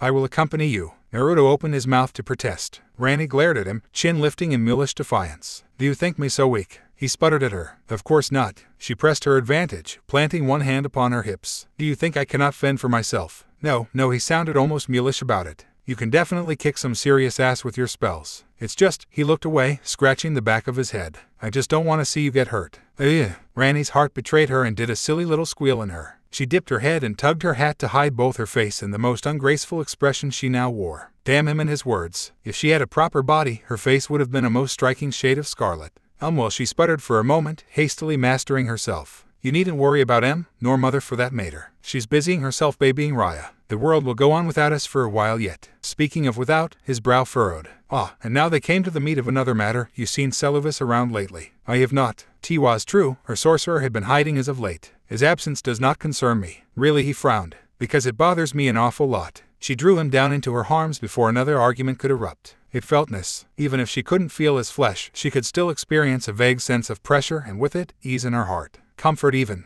a steady rock in the storm of her heart. Would that she could hold him forever, but she couldn't. There were matters to which she must attend. Go, then. She nudged him off. Find Blaidd and seek him out. He has been restless as of late. Perhaps the two of you can ascertain what he hath been up to. Fine, fine, he made to stand and her heart hitched. See you later. Wait, he did, bless him. Earlier, she reached up, touched his face again, this time cupping it with two of her four hands. What you said to me before you faced Rykard. His whiskered face turned a lovely shade of red. What about it? Oh gods, her face was burning. Didst thou speak truly? His eyes flashed in understanding. Ranni, I would have thee prove thy intent once more. The moment her emotion seized her and she tugged his face to down to hers. His lips touched hers as she tilted her head in response, seeking a better angle. She couldn't feel that, either. Only the faintest sensation of pressure. For all that her spirit soared, she couldn't feel him. Blessed, in a fit of pique, she sought to kiss him. Again, her rewarded was only numbness. When made a pleased noise, it only made her angrier. T was not fair. He could feel this, all of this, but she could not. Unfair. Her remaining arms threw themselves round his neck. She used them to drag herself into his lap. Seconds passed, dragging onto into a minute until finally she had to let him breathe.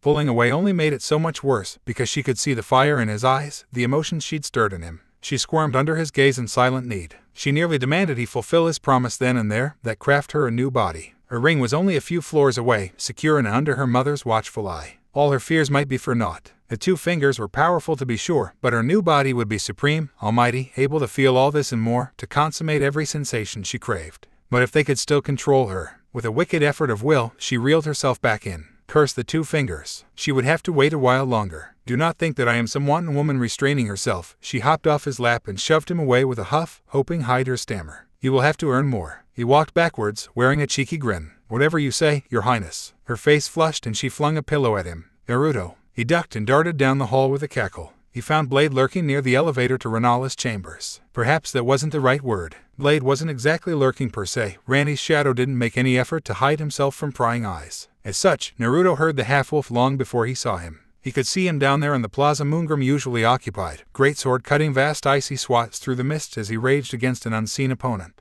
He could hear him snarling from here. Ranni's pet wolves, and he was so glad she hadn't left them to starve back at her rise lay sprawled near the steps, basking under the moonlight. They seemed happier here at the academy at any rate. As luck would have it, the largest of the trio perked up at his approach. It raised its head and bounded his way, tongue lolling out its mouth. He knelt to pet the beast. Arwa, who's a good boy. The lead wolf whined and nosed his hand. Its head turned toward Blaidd's distant figure with intent. Yeah, I know. He gave its ears a final scratch and rose. He'll go check on him. The hound at his palm paced back to its fellows, circled once, and laid down, intent to watch. No pressure. Blaidd didn't even seem to register his presence as he approached. He was muttering to himself as he drew nearer. No, it's fine. His comrade in arms snarled and drove himself through another flurry of slashes faster than the naked eye could see. Ranni needs me. She needs us. He shook his head and swiped at some invisible foe once more. I am me. No one else stopped whispering. That's a red flag if I've ever seen one. Right, getting more than a little worried now. He dared to step out of cover. You all right there, Blaidd? The warrior rounded on him with a howl, teeth gun sharp and eyes glowing red. Steel flashed toward his face. For a wild moment he felt his emotions, furious and feral, and so full of pain.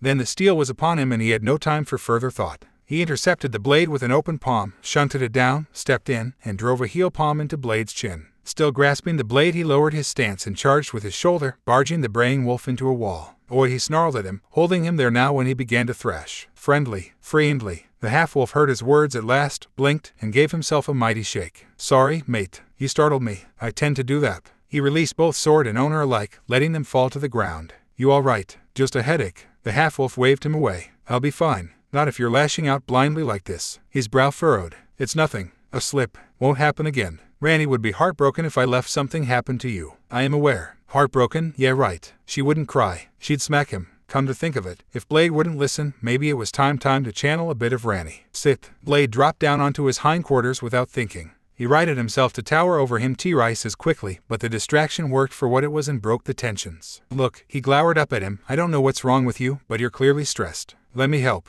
What did he do when he was restless? Another prank sounded all well and good, but Ranni would be meeting Rykard soon. He didn't want to trouble Rennala or Raya, either. An idea dawned. Want spar? Blaidd balked back. I don't think that's wise. Come on, it'll be fun. He beckoned. I won't even fight back. Try to smack me around a bit. The door to her chambers creaked open anew. Ranni raised her gaze, wholly at ease once more. Are you well, dear brother? Rykard entered, grunted, and looked away. Come now, she couldn't help but chide him for it. Do not be cross. You live, do you not? Thine consort nearly hit my head. He plunked down in the empty chair beside her bed. Was that on your order, sister? No, no. She hid a smile behind one hand. I can no more command him than I can demand the sun rise and set. You live by his mercy. Even so, he glowered golden daggers at her. Are you goals still the same as words had her lips pursing in a thin blue line? To defy the greater will, but of course, a small smile fractured his stone-gray face. Then we remained united still. A curious choice of words. She quirked a dark brow at him. Even after all you have done. Rykard looked away in quiet shame, stewing under her stare. You need to remind me. My reach exceeded my grasp. Needn't say it. A flash of anger burned through Ranni's cold, cold heart. As if such a thing would undo all he had done.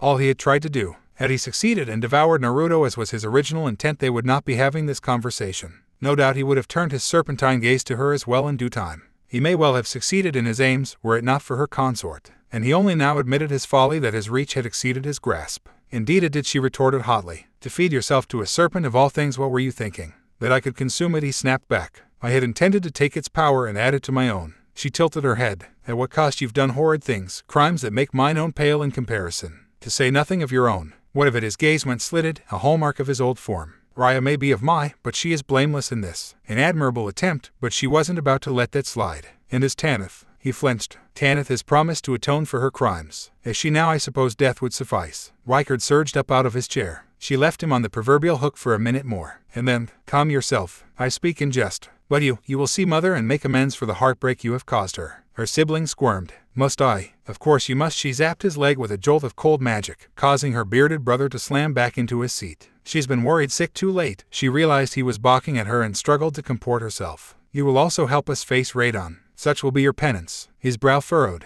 If I must. She scowled. Yes, you must. After nearly killing that which is mine, it is the last you can. Clanged. Both siblings started. What the devil was that noise? Naruto hurtled past the window with a peal of raucous laughter. Ranni palmed her face sighed aloud. Truly, that boy will be the death of me. Okay, sadly the chapter is over. And if you enjoyed, just leave a like and subscribe with post notification. So when the next chapter is ready, you will be notified. Okay, see you in the next video. Bye.